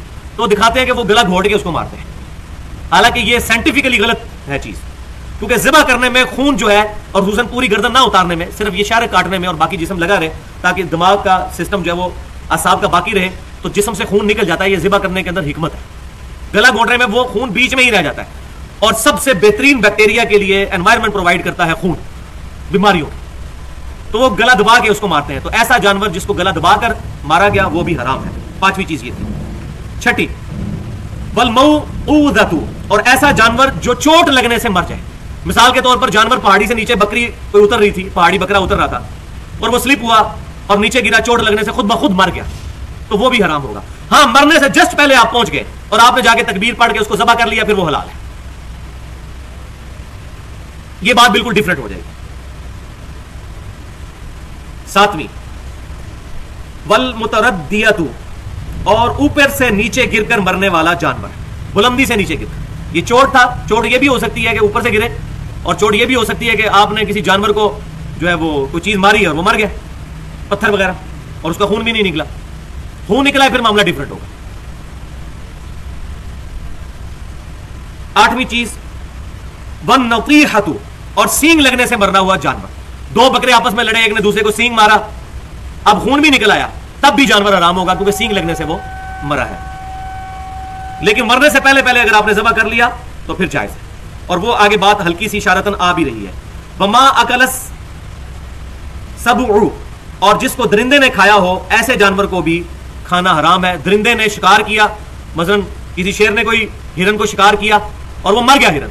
अब वो शेर को आपने भगा दिया तो उसको आप नहीं खा सकते। लेकिन इल्ला मा जक्कई तुम सवाए उसके कि जिसको तुम जबा कर लो। शेर ने भी शिकार किया था, आपने फायर मार के शेर को हवाई फायर करके भगा दिया। वैसे होगा नहीं मैं एक थ्रेटिकल केस बता रहा हूँ। शेर के अलावा कोई और जानवर कर ले। तो अब वो जानवर भाग गया, अभी उसकी साँसें हिरन की बाकी थी और आपने उसको जबा कर लिया। तो अगरचे उसको दरिंदे का जख्म भी लगा हुआ है लेकिन आप जिबा कर लेंगे तो वो आपके लिए हलाल हो जाएगा। नौ चीज़ें होगी। वमा जुबिहा आलम नुसुब। और ऐसा जानवर जो थानों पर जबा किया गया हो, वो भी हराम है। थान उस जमाने में बुतों के लिए जो कुर्बानियाँ की जाती थी, पर्टिकुलर जगह बनी होती थी। अभी भी कई ऐसी वो जगह दुनिया में मौजूद हैं जहाँ पर बुतों के नाम के ऊपर कुर्बानियाँ की जाती हैं। पहाड़ों पर वो देवता एक उनके कॉन्सेप्ट है कि यहाँ पर देवता रहते हैं, उनके लिए वो जानवर जो है वो कुर्बान करके रखते हैं। तो ऐसे थानों पर अल्लाह के नाम पर कुर्बान करना भी मना है। ये बात जरा समझ लो। ये समझने वाली बात है कि थानों पर अल्लाह के नाम पर भी कुर्बान करना हराम है, क्योंकि उन जगहों पर हराम कर दिया गया। यह फैसला बाद में होगा कि सैनमे में इस्लामी फ़िल्म देखनी है या गैर इस्लामी। सैनमा बनाना ही हराम है। जो मैंने अपने एक लेक्चर में जो बारह रबी अव्वल पे दिया था विलादत मुस्तफ़ा सल्लल्लाहु अलैहि वसल्लम और रसूलुल्लाह की आखिरी वसीयतें। उसमें मैंने आप सल्लल्लाहु अलैहि वसल्लम की कब्रों के मुतालिक जो पर्टिकुलर वसीयतें हैं वो मैंने बयान की थी और उसमें मैंने बताया था कि ये बात बाद में होगी कि मज़ारों पर जाना कैसा है या नहीं है। मज़ार बनाना ही हराम है। कब्रों में जाने का हुक्म है सही मुस्लिम में, ताकि आखिरत की याद है मज़ार बनाना ही गलत है, क्योंकि सही मुस्लिम में हदीस है, कब्रों को पक्का मत करो, कब्रों पर इमारत मत बनाओ और उन पर मत बैठो, ना लाइव बैठो, ना मुजावर बन। ये तो बाद में बात होगी कि मज़ार पे जाना जायज़ है ना जायज़ मज़ार बनाना ही गलत है। इसी तरीके से ऐसी जगह जो थान है, जहाँ पर मुशरकिन के मेले लगते हैं, या खिलाफ शरा काम होते हैं, वहाँ पर अल्लाह के नाम की कुर्बानी भी देना हराम है। लिहाजा बाजरत के साथ, जो यहाँ से लोग जाते हैं, जी गरीब लोगों को खिलाने के लिए हम अब जा रहे हैं, अली बिन उस्मान अजमेरी साहब अल मशहूर दाता साहब के दरबार पे जी वहाँ देख चढ़ाएँगे, अल्लाह के नाम की, वहाँ पर अल्लाह के नाम की देख चढ़ाना भी इस आयत के तहत हराम होगा इस्ताद क्योंकि वहाँ पर खिलाफ शरा काम हो रहे हैं।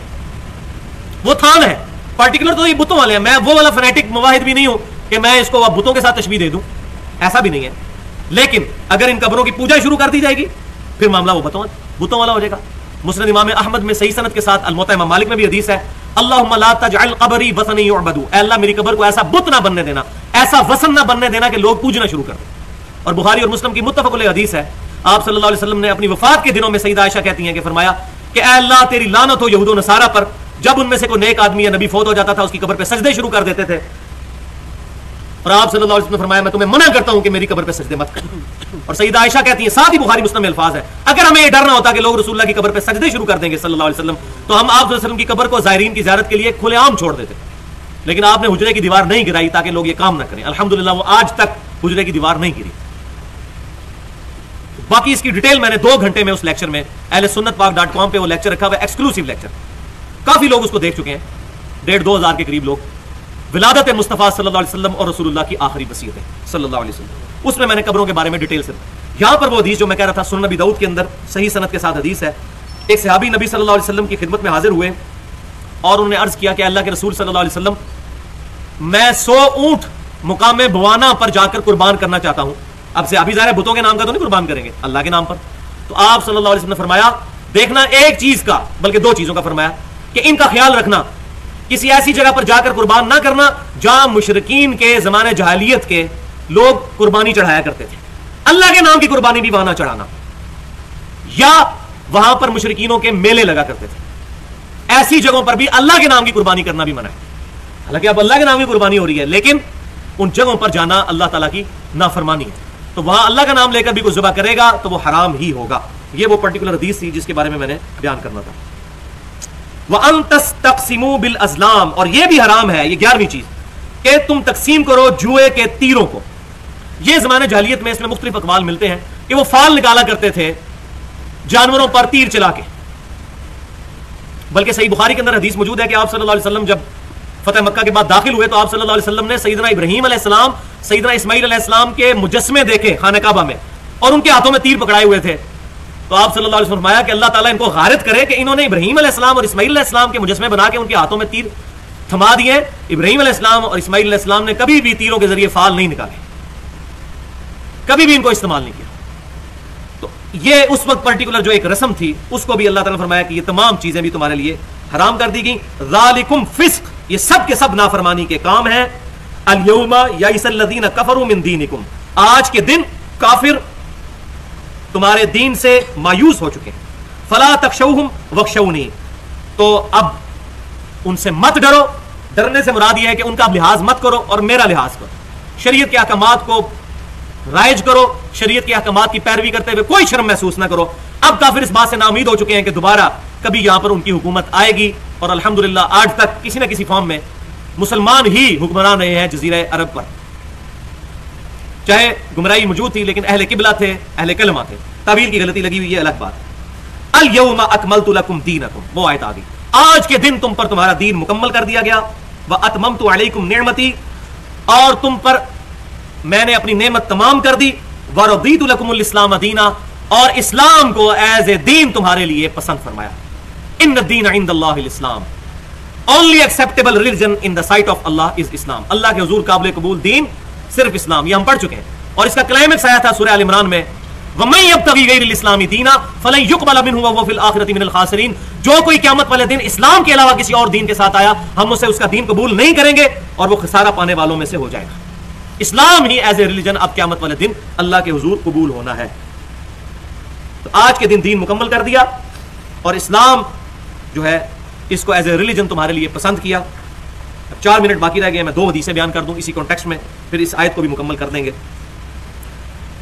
कि सही बुखारी और मुस्लिम की मुतफ़ हदीस है कि एक यहूदी सईदना उमर रदी अल्लाह तु की खिदमत में हाजिर हुआ और उसने कहा कि आपकी किताब में अमीरुलमिन एक आयत ऐसी है कि अगर हम यहूदियों पर नाजिल होती तो हम उस दिन को ईद का दिन मनाते। तो आप रदी अल्लाह ने पूछा, कौन सी आयत? तो उसने फिर यही आयत तलावत की। अलयमा अकमल तुलकुम दीनकुम व अतमम तो अलैकुम यानी दीन मुकम्मल होना है तो ये खुशी का दिन है। तो सईदना उमर रदी अल्लाह ने बड़ा इंटेलेक्चुअल जवाब दिया। उन्होंने कहा कि हमें पता है ये किस दिन ये आयत आप सल्लल्लाहु अलैहि वसल्लम पर नाजिल हुई थी? वो जुमे का ही दिन था। और आप सल्लल्लाहु अलैहि वसल्लम यौम अरफा के दिन, अरफात के मैदान में थे जब ये आयत नाजिल हुई। यानी जुमे का दिन पहले ही मुसलमानों के लिए ईद का दिन। और इसी तरीके से जामिया तिरमजी में भी सही सनत के साथ हदीस मौजूद है कि इब्ने अब्बास रदी अल्लाह के पास एक शख्स आया, उसने कहा, आपकी किताब में ऐसी आयत है कि अगर हम पर नाजिल होती, हम उसको ईद बना लेते। तो इब्ने अब्बास रदी अल्लाह ने भी उससे भी बेहतर जवाब दिया और फरमाया कि उस दिन तो अल्लाह ने हमें पहले ही दो ईदें दी हुई थी। एक यौमुल जुमुआ जुमे का दिन, और दूसरा यौम अरफा, यानी नौ जिलहिजा हज का दिन। अल्लाह ने हमें पहले ही दो ईदें दी थी, उस दिन ये आयत नाजिल हुई। अल्हम्दुलिल्लाह। तो मैंने वो जो रबी वाला लेक्चर है, उसमें मैंने ये बात कही है कि ईद का लफ्ज सिर्फ़ उन दो ईदों पर नहीं बोला जाता। वो तो है पर्टिकुलर शरीयत की दो ईदें। उसके अलावा इस्तलाही मानों में ईद का लफ्ज जुम्मे पर भी, योम अरफा पर भी बोला गया है, ये जायज़ है। फ़ी मखमसातिन। और जो कोई लाचार हो जाए, भूख की हालत में। अब ये शरीयत अल्लाह ताला की तरफ़ से है, इतनी सख्ती भी नहीं है, अगर किसी पर ज़िंदगी मौत की कशमकश बन गई। और भूख की वजह से मरने के करीब है, फिर इन हराम चीज़ों में से भी वो खा सकता है। ये कंक्लूड की बात। अगर कोई शख्स मजबूर हो जाए, भूख की हालत में, गैरा मुतजानिफिन मुतजानिफिल लेकिन वो गुनाह की तरफ़ झुकने वाला ना हो। यानी उसके दिल में बुराई मौजूद हो कि खंजीर का गोश्त हराम है, लेकिन मैं अब जान बचाने के लिए खा रहा हूँ कराहत के साथ उसको खाए।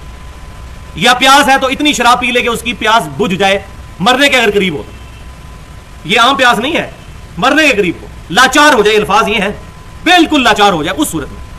ये नियत ना करेगा चलो आज मैं चेक ही कर लेना कैसा जायका है शराब का ये नियत ना बीच में है। अल्लाह ताला फरमा दिया, गैरा मुतजानिफिल ना झुकने वाला हो गुनाह की तरफ़। उस वक्त एक दफ़ा नियत अपनी दोबारा हाजिर करेगा मैं किस नियत से भी हो सकता है कि कोई मेरे जैसा वहमी बंदा हो तो छोड़ ही दे कि यार मैं कहीं गड़बड़ ना हो जाए नियत और बुखारी और मुस्लिम की वो हदीस मुझे याद आ गई कि आप सल्लल्लाहु अलैहि वसल्लम उसने ईमान की हलावत चख ली, जिसमें तीन निशानियाँ हैं। अल्लाह और उसका रसूल उसे पूरी दुनिया में सबसे बढ़कर महबूब हो जाए, सल्लल्लाहु अलैहि वसल्लम। दूसरी, दोस्ती और दुश्मनी अल्लाह के रेफरेंस है। और तीसरा, कुफर की तरफ़ लौट जाना इतना मुश्किल हो जाए जितना आग में ज़िंदा जलाया जाना। यानी वो बंदा आग में जलने के लिए तैयार हो जाए, लेकिन इस्लाम ना अपना छोड़े। ये ईमान की हलावत है। वैसे अगर ज़िंदगी मौत की कशमकश बन जाए तो इंसान तकिया कर सकता है। तकिया करने की इजाज़त है। मैं सूर्य इमरान में बयान कर चुका। कि जायज़ है। लेकिन उस वक्त भी आला तरीन दर्जा यह है कि इंसान शिरक ना करे, अपनी जान दे दे। जो मुस्नद इमाम अहमद में सही सनत के साथ हदीस अमाज बिन जबल को नबी सल्लल्लाहु अलैहि वसल्लम ने फरमाया था अमाज अल्लाह के साथ शिरक ना करना हाँ तुम्हारे टुकड़े टुकड़े कर दिए जाए, तुम्हें सलीब पे चढ़ा दिया जाए, सूली पर चढ़ा दिया जाए, या तुम्हें आग में जला दिया जाए, अल्लाह के साथ शिरक ना करना। यह तकवे की बात की।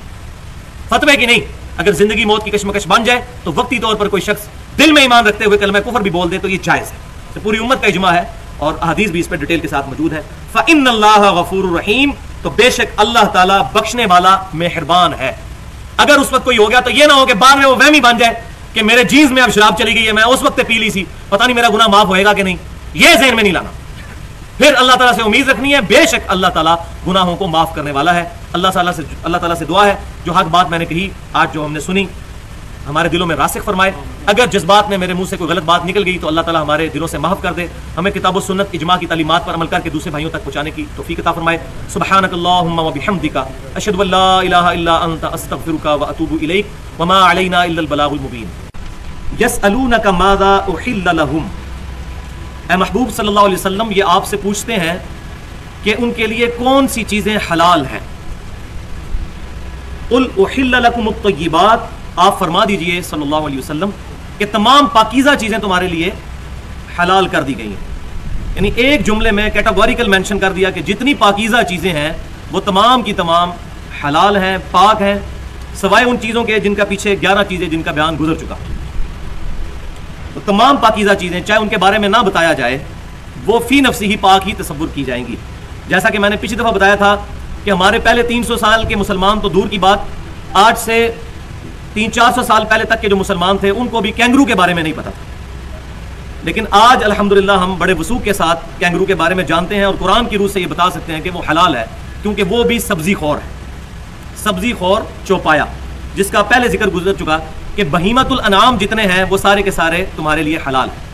लिहाजा ये जो सवाल किया जाता है, जी भैंस कहाँ हलाल लिखी हुई है, फलां चीज़ कहाँ हलाल लिखी है तो हम पूछते हैं कि भैंस हलाल लिखी है निकी पहले तो ये बताएँ कि फिक हनफी में या फिक शाफी मालकी में कैंगरू हलाल लिखा है या नहीं। मैं बताता हूँ हलाल है तो आप मेरे मुकलद हो जाएँगे। ऐसी बात नहीं है, बल्कि इजतहाद और इजमा क्यामत तक के लिए जारी रहेगा, किसी शख्सियत पर फिक्स नहीं होगा। वरना आज के दौर के जो मसाइल हैं, उनका हम कहाँ से रिज़ल्ट निकालेंगे? तो तमाम पाकिजा चीज़ें तुम्हारे लिए हलाल कर दी गई हैं। तो भैंस का ज़िक्र कुरान हदीस में मौजूद हो या ना हो, मैंने तो बताया बहीमतुल में उसमें आती है वो चीज़। जितनी चीज़ें हैं जो सब्ज़ी खोर है, सवाए उनके जिनको हराम कर दिया गया।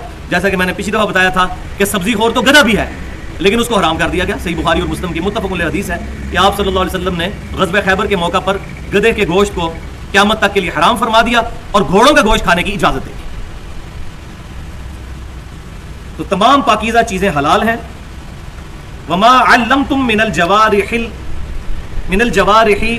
मुकल्लिबीन और वो चीज़ें भी तुम्हारे लिए हलाल हैं जो तुम्हारे सिखाए हुए जानवर शिकार करते हैं। तो कि जिनको तुम सिखाते हो जैसा कि अल्लाह ताला ने तुम्हें शिकार करना सिखाया है। तो ऐसे जानवर जो सुधारे हुए जानवर हैं, उनका शिकार भी तुम्हारे लिए हलाल है।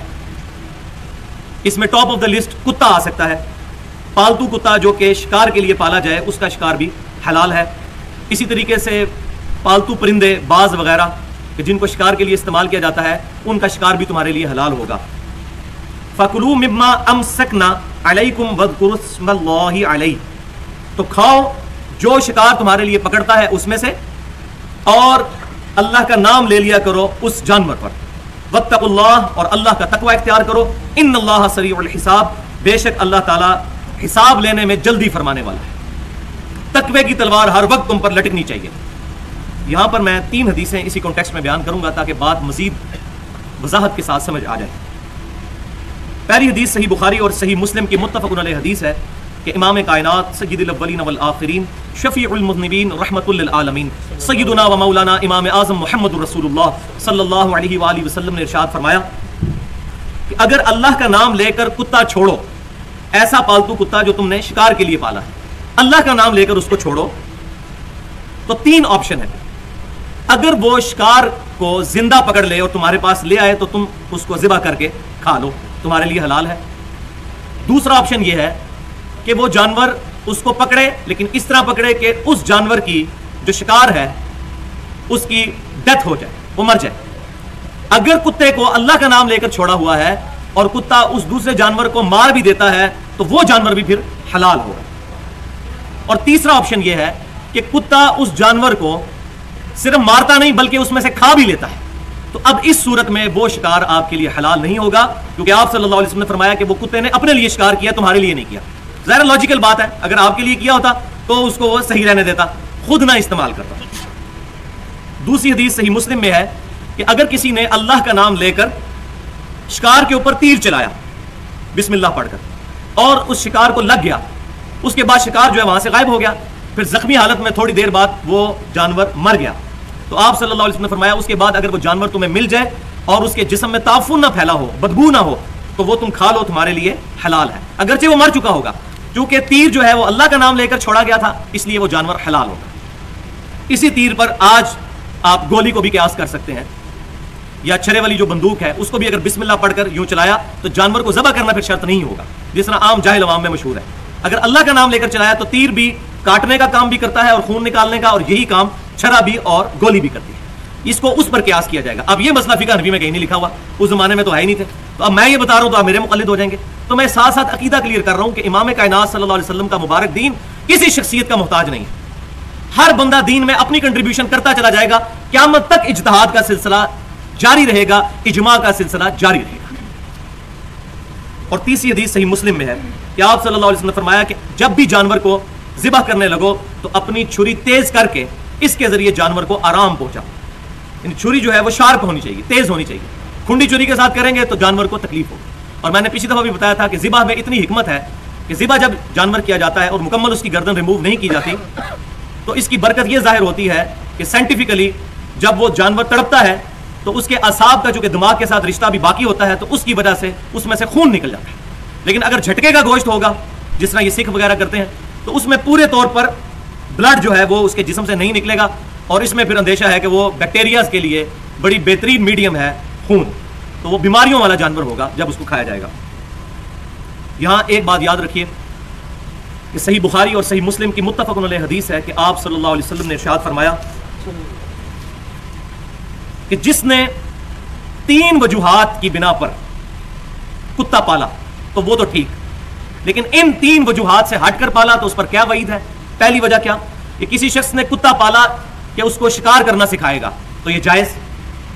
दूसरा ऑप्शन ये कि कुत्ता पाला खेती की हिफाजत करने के लिए तो ये भी जायज़। और तीसरा ऑप्शन ये कि रेवड़ की हिफाजत के लिए, यानी भेड़ बकरियों की हिफाजत के लिए उसने कुत्ता पाला तो ये जायज़। आप सल्लल्लाहु अलैहि वसल्लम ने फरमाया, इन तीन ऑप्शंस के अलावा जिस शख्स ने कुत्ता रखा अपने पास तो रोज़ाना एक रवायत बुहारी मुस्लिम की उसमें आता है कि उसका एक किरात अमल उसके नाम अमाल में से जाया हो जाएगा। और दूसरी रवायत में है कि दो किरात। और एक किरात जो है, ये ओहद पहाड़ के बराबर है। सही बुखारी और सही मुस्लिम की मुतफ़ हदीस है कि एक किरात अजर ओहद पहाड़ जितना इतने तो शायद हमारे नाम माल में नेकियाँ भी ना हो।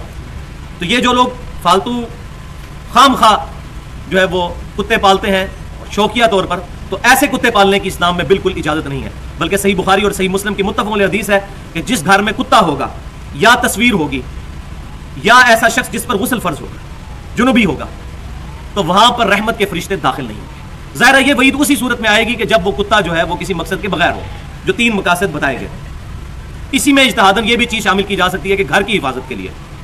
क्योंकि अगर रेवड़ की हिफाजत है तो बदरजाउला घर की हिफाजत जो है, उसके लिए भी कुत्ता रखा जा सकता है। लेकिन कोशिश करके उसको घर की बाउंड्री के बाहर ही रखें। इसी तरीके से तस्वीर भी और जुन भी। अब तस्वीर पर इंशाल्लाह मुझे कभी टाइम मिला तो मैं डिटेल से बताऊँगा। बल्कि इशारतन तो मैंने इजमा की हजियत वाला जो मसला नंबर इकतीस के नाम से हमारी वेबसाइट एल सुन्नत पाक डॉट कॉम पर रखा हुआ है, उसमें मैंने तस्वीर का मसला थोड़ा बहुत एड्रेस भी किया। था ये तस्वीर कौन सी है जिसके बारे में ये वईद है? तो ये अलग एक टॉपिक है, इंशाल्लाह कभी मौका मिला तो इसको डिटेल के साथ एड्रेस किया जाएगा। अलयमा आज के दिन तुम्हारे लिए तमाम पाकिजा चीज़ें हलाल कर दी गई हैं। ऊतुल किताब और खाना उन लोगों का, जिनको किताब दी गई थी। यानी तुमसे पहले ज्यूज और क्रिश्चियंस यहूदो नसारा, अहले किताब का खाना भी तुम्हारे लिए हलाल है। अहले किताब में से भी अगर कोई शख्स अल्लाह का नाम लेकर जिबा करेगा तो वो जानवर भी हमारे लिए हलाल होगा, अहले किताब में से। बतामुकुम हिल्लुल्लाहुम और तुम्हारा खाना उनके लिए हलाल है। इसी पर कयास करते हुए, जो फनेटिक किस्म के लोग हैं, उनके लिए भी मेरा कीमती मशवरा यह है कि बाद लोग पूछते हैं, अब ज़ाहिर है कि हमारे मुल्क में फ़िरका वारियत की लानत इस कदर फैल चुकी है कि मुसलमान अपने ही दूसरे मुसलमान भाई अहले किबला से, अहले कलमा से नफरत करता है। तो मुझे कई बार लोग फ़ोन करके पूछ रहे होते हैं तो बरेलवी का फ़ोन आएगा तो वो पूछेगा, जी, अहले हदीस का जबा किया हुआ हलाल है कि हराम है? अहले हदीस का फ़ोन आएगा तो वो पूछेगा, बरेलवी का हलाल किया हुआ हलाल है कि हराम है? तो मैं फिर उनको ये आयत बताता हूँ। अगले दिन भी मुझे इंग्लैंड से फ़ोन आया। तो मैंने कहा, भाई, अहले किताब अगर अल्लाह का नाम लेकर जिबा करें तो वो हलाल है। तो आप इनको अहले किताब जितना भी दर्जा नहीं देते, अपने मकादमे फ़िक्र के भाइयों को, जो मुख्तलि मकादमे फ़िक्र के चाहे बरेलवी हो जो बंदी हो, अहले हदीस हो, शिया हो, ये उनसे तो बेहतर है ना। वो तो नबी वसल्लम के मुनकर हैं और ये नबी वसल्लम के दीवाने हैं। ज़मीन आसमान का फ़र्क है। तो अहले किताब जितना ही दर्जा रख दिया जाए तो कम अज कम हमारे लिए बड़ा आसान हो जाएगा इस मामले में। वलमसनात मिनलमिनाती और हलाल कर दी गई हैं मोहसिना औरतें, पाक दामन औरतें मोमिन औरतों में से तुम्हारे लिए, यानी उनसे निकाह कर सकते हो। वल वलमसनात मिनल्लदीना ऊतुल किताब। और अहले किताब की औरतें भी तुम्हारे लिए हलाल कर दी गई हैं, उनके साथ भी निकाह कर सकते हो, लेकिन हो मोहसिना। फाशा औरतें ना हो, मोहसना औरतें हो, पाक दामन औरतें हो, ऐसी औरतें तुम्हारे लिए हलाल है। लेकिन साथ कुछ कुयूद भी हैं। मिनल्लदीना ऊतुल किताब मिन कबलिकुम, जिनको तुमसे पहले किताब दी गई थी, उन की जो औरतें हैं, मोहसना हलाल हैं इदा आतई तुमुहन्ना उजूरहुन, जबकि तुम उनको हक महर उनका दे दो। मुहसिनीना गैरा मुसाफिहीन, और मकसद तुम्हारा शादी करने का पाकबाज बनना हो, शहवत रानी मकसद ना हो। वला मुतखी अफदान, और ना ही चोरी छुपी की दोस्ती मतलूब हो। इस किस्म की कोई चीज़ नहीं होनी चाहिए, तब तुम्हारे लिए ये तमाम मामला हलाल होंगे। और साथ ही ये बात आ गई बिटवीन दी वर्ड्स जो है वो, धमकी भी है। वह मैं यकफुर बिल ईमान।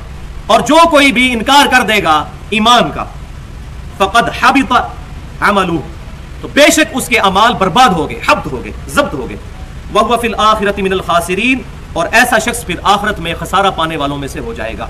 यानी अगर ईमान के जाने का खतरा है तो फिर अहले किताब की औरतों के साथ निकाह जायज़ नहीं है। देखें, एक माशरा वो था कि जिस माशरे में मर्द डोमिनेंट थे, अरब के माशरे में। उस वक्त हिकमत यह थी कि अगर कोई अहले किताब की औरत मुसलमान मर्द से शादी करेगी तो जो औलाद पैदा होगी, वो मुसलमान होगी। और ऐन मुमकिन है कि उस मुसलमान के करेक्टर से मुतासर होकर वो औरत भी इस्लाम कबूल कर ले। लेकिन आज मामला बहुत खतरनाक हो चुका है। आज ऐन मुमकिन है कि वो अपने ईमान से ही जाता रहे। फिर दूसरी खतरनाक बात यह है कि आज जो अहले किताब है, उनमें से अक्सर तो मुनकरीन खुदा ही हो चुके हैं। एथियस्ट हो चुके हैं ये कैसे पता चलेगा अहले किताब है? चाहे अहले किताब मुशरक भी हो, तब भी निकाह जायज़ है। बाद लोगों ने ये भी बीच में से कोई एक पख निकाल दिया है कि जी, वो अहले किताब वो थे जो शिरक नहीं करते थे। और भाई, अहले किताब वो शिरक करते थे। सूरतुल माहिदा में ही आ जाएगा। लक़द कफर अल्लज़ीना क़ालू हुवल मसीह मरियम। बेशक वो लोग काफिर हैं जो कहते हैं कि ईसा बिन मरियम ही अल्लाह है। वक़ाल मसीह जबकि मसीह ने कहा, क्या कहा था?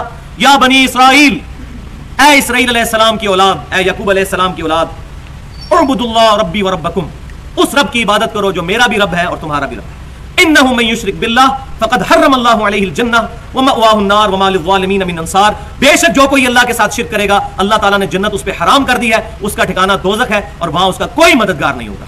तो कुरान पाक में जिन ज्यूज और क्रिश्चियंस को एड्रेस किया गया, वो मुजरिक ही हैं।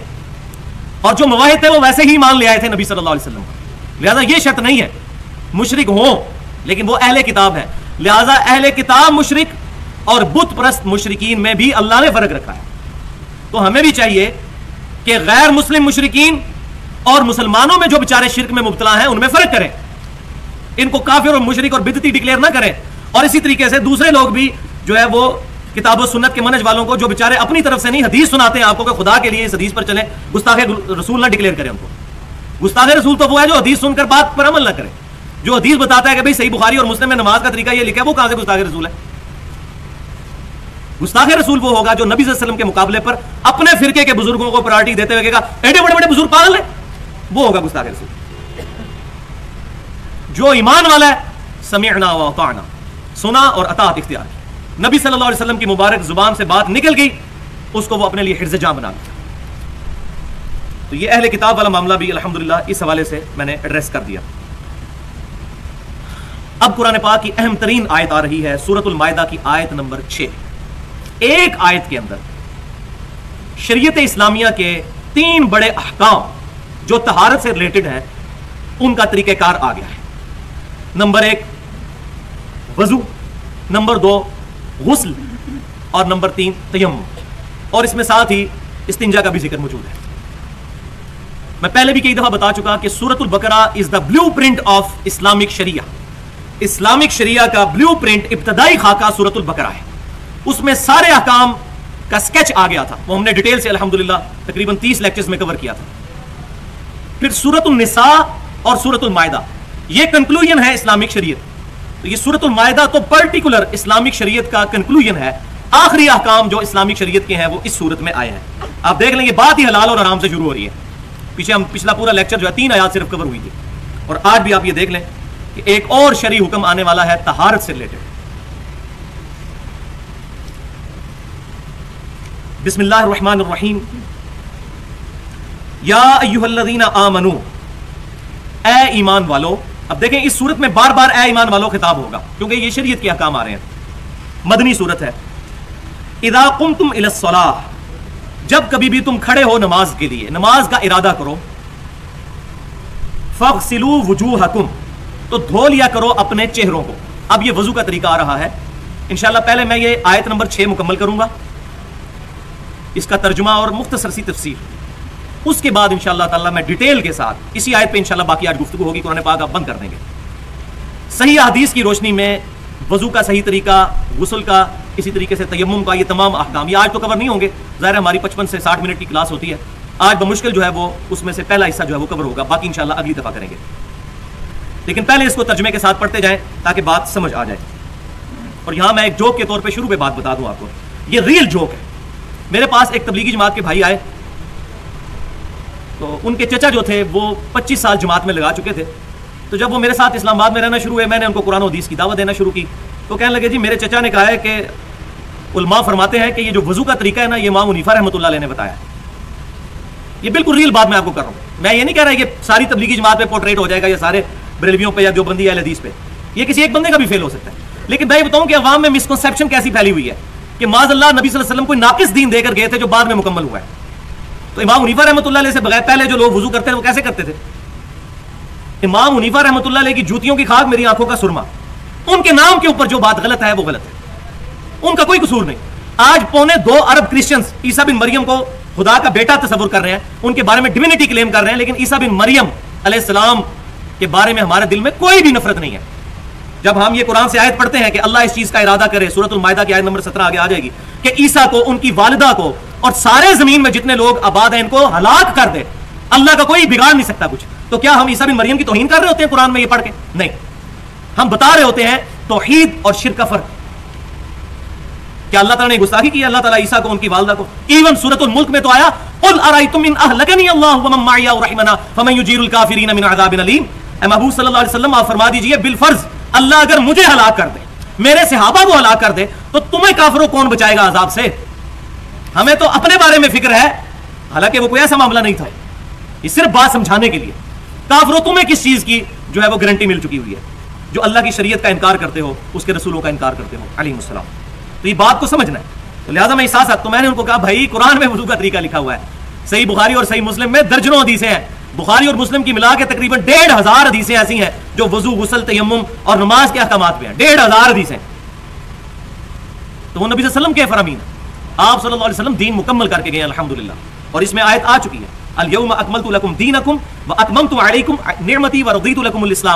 आज के दिन हमने तुम्हारा दीन तुम्हारे लिए मुकम्मल कर दिया, तुम पर अपनी नेमत मुकम्मल कर दी और इस्लाम को एज ए रिलीजन तुम्हारे लिए पसंद फरमाया। तो ईमान वालो, जब नमाज़ के लिए खड़े हो, नमाज़ की तरफ़ खड़े हो फसिलू वज़ू हकुम तो धो लिया करो अपने चेहरे। तो चेहरे की तारीफ़ उर्फ़ आम में वही है, जहाँ से अमूमन माथे के बाल जमते हैं, वहाँ से लेकर ठोड़ी के नीचे तक। यह है लंबाई, और चौड़ाई एक कान की लो से लेकर दूसरे कान की लो तक। ये आप डिक्शनरी में देख सकते हैं, ये डिक्शनरी का मसला है। इसको उर्फ़ आम में चेहरा कहा जाता है तो फरमाया कि चेहरों को धो लिया करो। व ऐदियकुम इलल मराफिक और अपने हाथों को धो लिया करो, कोहनियों तक। कोहनियों तक का मतलब है कोहनियाँ भी इसमें शामिल है। उससे पहले पहले नहीं, कोहनियाँ भी शामिल है इसमें। इसको भी धो लिया करो। यद का लफ्ज अरबी ज़ुबान में ये पूरे बाजू के लिए भी इस्तेमाल होता है, कंधे से लेकर यहाँ तक। इसीलिए फरमा दिया गया साथ ही कि कोनियों तक। वम सहूब रूसिकुम और मसा किया करो अपने सरों का।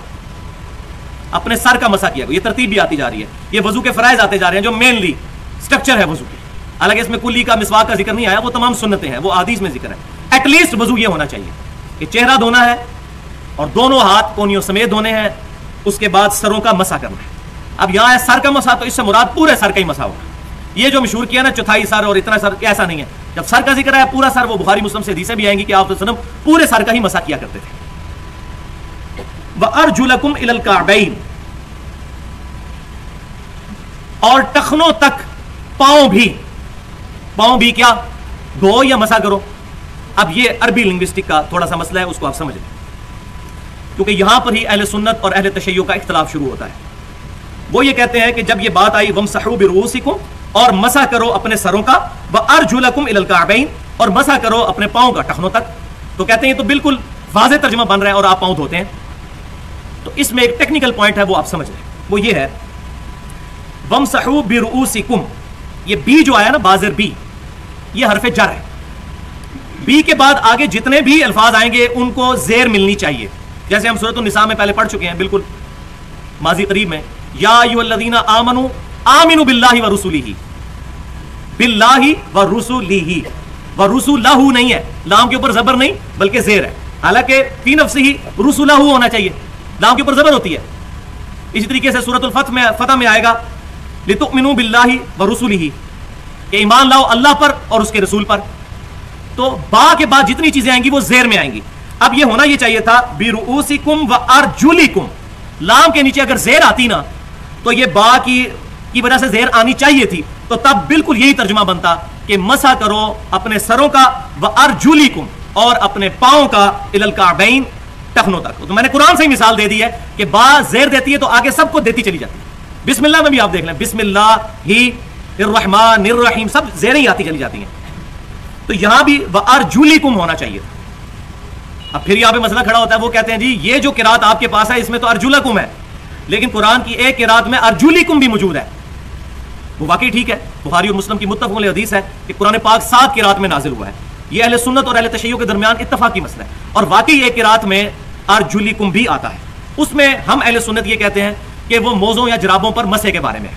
लेकिन इस वक्त जो मुसफ हमारे सामने मौजूद है, जिस मुसफ पर इजमा है, चाहे वो सऊदी अरब से छपता हो, ये वाला, ये मैंने पहले भी बताया कि ये शाम के एक आतिम ने लिखा है, यही कुरान सऊदी अरब से भी छप रहा है और यही ईरान से। ये तो मौलवियों ने लड़ाया हुआ है कि शिया कोई और कुरान मानते हैं। भाई, शिया कुरान की कोई तारीफ़ नहीं मानते। इसी कुरान को मानते हैं। अगर हो तो कुरान उन्होंने छापा हो आज तक हमें तोफीक हुई किसी अहले तशैयों के मदरसे से जाके कुरान खोल के देख लें कि हमारे मौलवी जो हमें पट्टी पढ़ाते हैं कि ये कहते हैं चालीस बारे हैं तो हम देखें वाकई चालीस बारे हैं कि नहीं? इसी तरीके से उनको पट्टी पढ़ाई जाती है कि ये अहले बैर के दुश्मन है। उनको भी तोफीक हुई, कभी हमें आगे पूछें कि अहले बाद हमारी जान है। हमने तो पूरा लेक्चर रिकॉर्ड कराया, पूरी दुनिया में तैल का मच गया उस लेक्चर की वजह से। हुसैनियत और जीदियत का तहकीकी जायजा। कोई लिहाज नहीं किया। जो जो जब में आता था, उसको रगड़ा लगा उसमें। तो हम अहले बैत से मोहब्बत करने वाले तो वहाँ जाकरीन हमारे खिलाफ भड़काते हैं, ये मौलवी उनकी इमाम के खिलाफ भड़काते हैं, उसकी वजह से आज इतनी खलीज बन चुकी है। ये दराड़ फिल होती नज़र नहीं आती।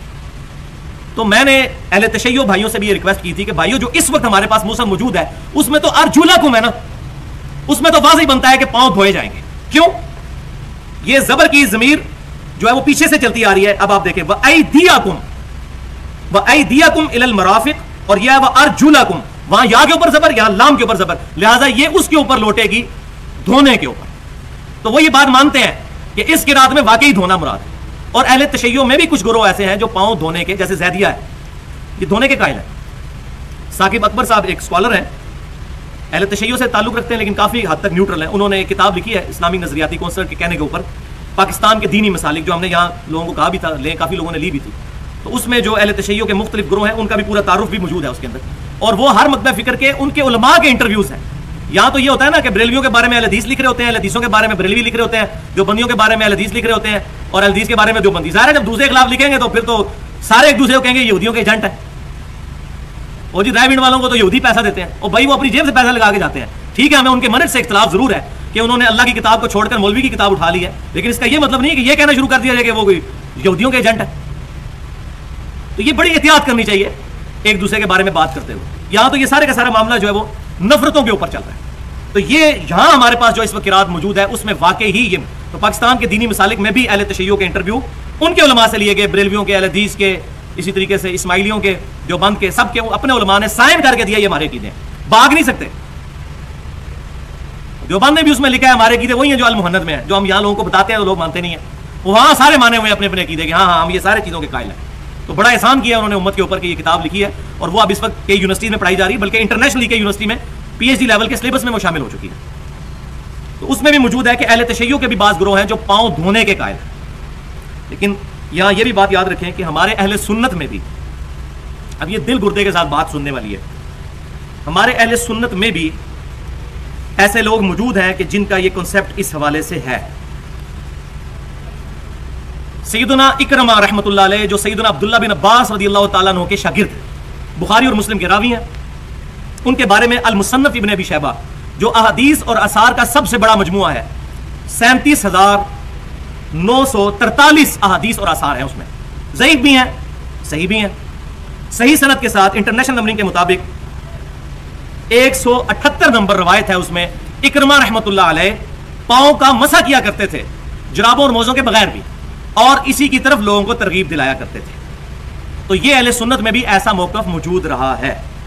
लिहाजा ये मैंने बात इसलिए की कि अगर कोई पाओ पर मसा करके नमाज़ पढ़ा देता है और आपको उनके पीछे नमाज़ कहीं पढ़नी पड़ जाती है तो बदगुमानी ना करें। सऊदी अरब में आप देख लें, एक इमाम होता है, पीछे अहल सुन्नत खड़े हैं, पीछे अहल तशैय खड़े हैं। अहल सुन्नत के सारे ग्रोह उसी इमाम के पीछे हैं, चाहे बरेलवी हो तो बंदी हो अहलदीस हो, सलफी हो। यहाँ आगे फिर लादा लादा अपनी मस्जिद है। तो वो सही बुखारी में जो हदीस है, मैं अक्सर कोट करता हूँ, इमाम बुखारी ने पूरा चैप्टर बांधा है बिदरती और बागी के पीछे नमाज़ पढ़ने का हुक्म। उसमें सईदना उस्मान बिन अफान रदी अल्लाह तला का कौल सही सनत के साथ लेके आए सही बुखारी में। जब बागियों ने उनको कैद कर लिया तो लोगों ने आगे पूछा कि बागियों ने मस्जिद नबी पर कब्जा कर लिया, ये हमें नमाजें पढ़ाते हैं, हम इनके पीछे नमाजें पढ़ लिया करें। तो सईदना उस्मान रदी अल्लाह तला ने फरमाया, नमाज़ ही तो एक मुसलमानों का इजमाई अच्छा काम है, अच्छे कामों में उनका साथ दो, बुराई में उनसे अलग रहो, उनके पीछे नमाजें पढ़ो। ये सईदना उस्मान का फतवा है। अलैकुम बिसुन्नती व सुन्नतिल खुलफाए राशिदीन अल महदीयीन। इससे यह भी बात पता चली कि वो जो बागी थे, वो काफिर नहीं थे। उनमें से कई सहाबा भी थे और कई ताबीन भी थे। जो बाज वजूहत की बिना पर सईदना उस्मान से नाराज़ थे। अब ये लादा टॉपिक इंशाल्लाह कभी मौका मिला तो इसको भी एड्रेस करेंगे। बहरहाल सईदना उस्मान भी उनके बारे में पॉजिटिव थे कि नमाजें उनके पीछे पढ़ लिया करो। तो ये मैंने साथ आपको हवाला इसलिए बता दिया ताकि पता चले कि कोई ऐसा क्रिटिकल इशू नहीं कि जिसकी वजह से नफरतें फैलाई जाए मुसलमानों के दरमियान। वज़ू के बाद अब आ रहा है। व इन कुन तुम जुनुबन और अगर तुम जुनुब हो, यानी तुम पर गुसल फ़र्ज़ हो तो फिर तुम तहारत हासिल कर लिया करो, यानी गुसल कर लिया करो। अब गुसल उर्फ़ आम में ज़ाहिर है कि अरब के लोग जानते थे गुसल से मुराद क्या है नहाना लेकिन डिटेल में, अहादीस में भी इसका ज़िक्र मौजूद है अलहमदुल्ला की पूरी तफसीर के साथ। वह इन कुन तुम मरबा और अगर तुम हो मरीज़ अला सफरिंग या तुम सफ़र पर हो। सफ़र में यह ज़्यादा मसला आ सकता है। या तुम में से कोई शख्स निचली जगह से आया हो, यानी निचली जगह पर लोग इस्तिंजे के लिए जाते थे, इस्तिंजा करके आया हो औलामस्तुमुन्निसा या तुमने अपनी औरतों को छुआ हो, ये छूने से मुराद है उनके साथ, सोबत की हो। फलम तजिदू मा और तुम ना पाओ पानी। मरीज़ हो, या सफ़र में हो, और तुमने ये एक्टिविटीज़ परफॉर्म की हो। तो ज़ाहिर है तुम पर वज़ू या गुसल फ़र्ज़ हो जाएगा। नमाज़ के लिए वज़ू, और अगर गुसल फ़र्ज़ हुआ है तो फिर गुसल करना पड़ेगा। और तुम मरीज़ हो तो पानी मौजूद भी हो तो उसको इस्तेमाल नहीं कर सकते। और सफ़र में यह भी कैटास्ट्रॉफिक कंडीशन आ सकती है कि पानी ही ना मिले तो क्या करो? फतयममू तो फिर तयम कर लिया करो, और साथ ही तरीका भी बता दिया। सईदन तयबन पाग मट्टी के साथ। फम सहू भी वजूह ही कुम मसा करो अपने चेहरों का, यानी मट्टी पर हाथ मारा, और अपने चेहरे का मसा किया। फूंक मार के जो फालतू मट्टी है वो उड़ा दी। वो आगे आदीश में जब आएगा, मैं डिटेल से इंशाल्लाह बताऊँगा मसाइल मसा करो अपने चेहरों का, व आई दिया कुम मिन।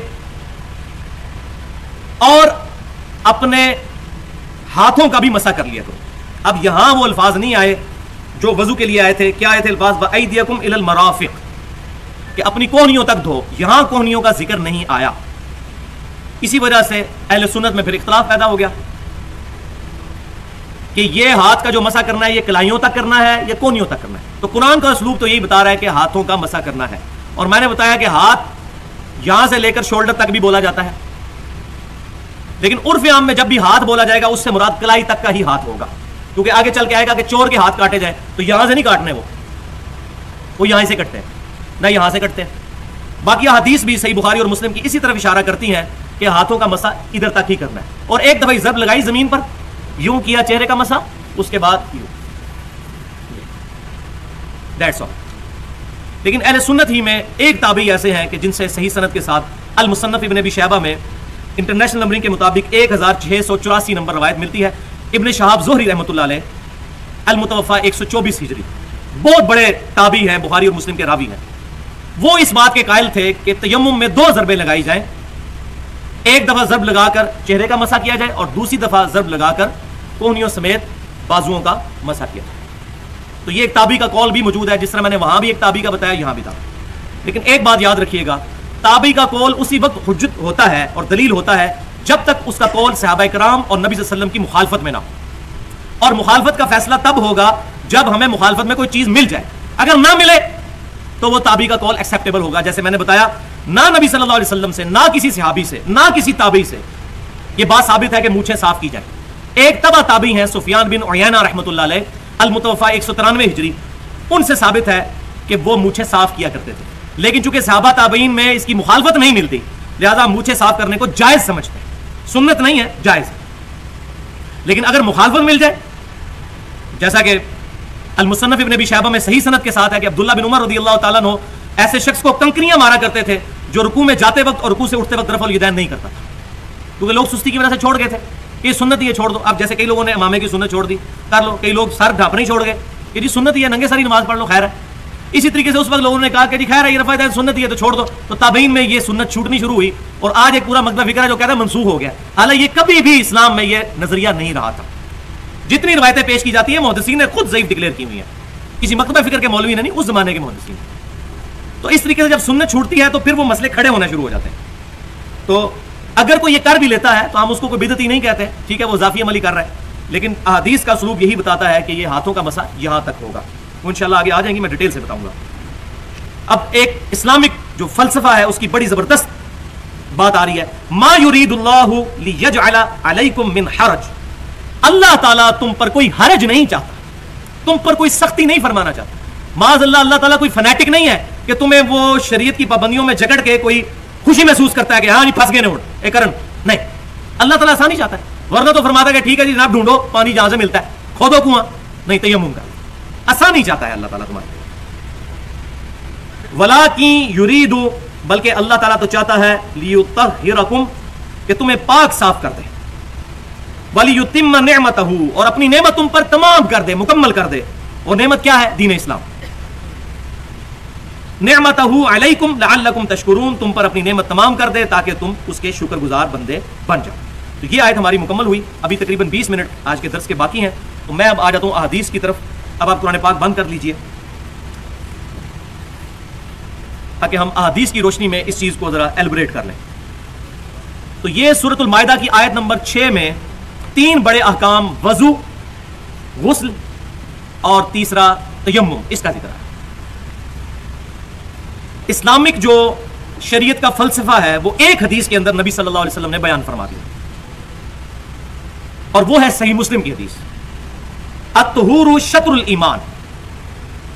सफ़ाई निस्फ ईमान है। ये चाबी है, इस्लामिक शरीयत का जो फलसफा है, सफ़ाई और तहारत। है कि सफ़ाई निस्फ ईमान आधा ईमान डिपेंडेंट है सफ़ाई के ऊपर। लिहाजा ये सफ़ाई और तहारत के अहकाम सीखना हर मुसलमान पर फ़र्ज़ है। आधा ईमान जो है इससे यह बात भी पता चली कि अमाल ईमान में दाखिल है। वो जो मुर्जिया का अकीदा था कि ईमान जो है वो उसमें अमाल दाखिल नहीं है, वो अहल सुन्नत के खिलाफ अहल सुन्नत ईमान की डेफिनेशन में तीन चीज़ें लेकर आ पहली चीज़ इकरार बिल लिसान, ज़ुबान से इकरार करना। दूसरी चीज़ तस्दीक बिल कल्ब, दिल से तस्दीक भी करना ईमान की। और तीसरी चीज़, अमल बिल जवारे, अपने अमाल के साथ एक्ट भी करना दीन के ऊपर। तो ये तहारत जो है, ये कोई अकीदे का नाम तो नहीं है, ये तो प्रैक्टिकली करने का नाम है, वज़ू, गुसल, या इसी तरीके से निजासत का दूर करना। तो यहाँ जो फरमाया गया, तहारत निस्फ ईमान है तो ईमान का हिस्सा नबी सल्लल्लाहु अलैहि वसल्लम ने अमल को भी करार दिया। लिहाजा जो मुर्जिया का अकीदा है, जो काफ़ी हद तक हनफियों के अंदर भी आया, वो अहले सुन्नत की राह से हटा हुआ अकीदा है। अब इस कॉन्टेक्स्ट में चूँकि मैंने तफसीली गुफ्तु करनी है, लिहाजा शुरू में दो टर्मिनोलॉजी समझ लीजिए। नंबर एक, हकीकी निजासत, और नंबर दो हुक्मी निजासत ये अब इल्मुल कलाम की टर्मनोलॉजीज हैं फिक की असलाहत हैं। असलाहत रखने में कोई मसला नहीं है। मेरा पूरा मसला नंबर इकतालीस के नाम से अहल सुनत पाक डॉट कॉम पर रखा हुआ है कि जो मुख्तलिफ़ असलाहत जो डिवाइस की जाती हैं चीज़ों को समझाने के लिए तो ये शुरू से तरीक़ेकार है। इसमें कोई बिदत वाला मामला नहीं है। जैसे मुसफ है, ये कुरान पाक, ये सीडीज में लाया गया एक नई फॉर्म में तो ये बिदत नहीं होगी। बिदत तब होगी जब कुरान ही बदल दिया जाए। कुरान तो नहीं बदला। इस तरह प्रिंटिंग प्रेस में इसकी प्लेट्स बन गई। वही चीज़ कन्वर्ट हुई मुख्तलिफ़ शक्लों में। इसी तरीके से मुख्तलिफ़ टर्म्स डिवाइस की जाती हैं बात समझाने के लिए। तो ऐसी इसराहत का इस्तेमाल करना कोई बिदअत नहीं है। बल्कि सही बुखारी में एक पूरा चैप्टर है कि नबी सल्लल्लाहु अलैहि वसल्लम ने बयान फरमाया कि अल्लाह ताला जिसके साथ भलाई का इरादा फरमाता है, उसे दीन की फिक अता फरमा देता है। फिक को हम मानते हैं, लेकिन फिकुल इस्लाम किसी मौलवी की फिक नहीं, इस्लाम की फिक हो। पर्टिकुलर किसी एक बंदे पर जामिद ना हो, सलफ का मन हो। सिहाबा ताबीन तबा ताबीन सबकी राय को देखकर एक ऑप्टिमल सोल्यूशन निकाला जाए कि जमहूर की राय क्या है। किसी एक बंदे के पीछे नहीं। जब बंदे के पीछे चलेंगे तो वो एक ही बंदा हो सकता है जो गलतियों से पाक हो और वो मेरा इमाम इमाम आज़म सईदुना इमाम मुरसलीन मोहम्मद रसूलुल्लाह सल्लल्लाहु अलैहि वसल्लम की मुबारक साहब। उनके अलावा कोई शख्स पाक नहीं हो सकता। मासूम अनिल जुनूब नहीं हो सकता। यही वजह है कि इमाम अहमद बरेलवी साहब ने फतावा रिजविया के अंदर ये बात लिखी कि अगरचे मैं हनफी हूँ और मुझे ये बात पता है कि इमाम मुनीफा मदीने को हरम नहीं मानते थे, लेकिन मेरे तक बुखारी और मुस्लिम की आदीज पहुँची है, मैं मदीने को हरम मानता हूँ। तो अपने इमाम की बगावत की उन्होंने। क्यों? हदीस मिल गई। फिर उन्होंने पूरी नात लिखी, हाजियो आओ शहनशाह का रोजा देखो, काबा तो देख चुके, काबे का काबा देखो। आज अलहमदुल्ला हमारे देवबंदी भाई भी, बरेलवी भाई भी और सलफी भी सब मदीने को हरम मानते हैं। इमाम मुनीफा रहमत नहीं मानते थे, एन मुमकिन है उन तक हदीस ना पहुँची हो। उनके बारे में हम उसने जान रखते हैं।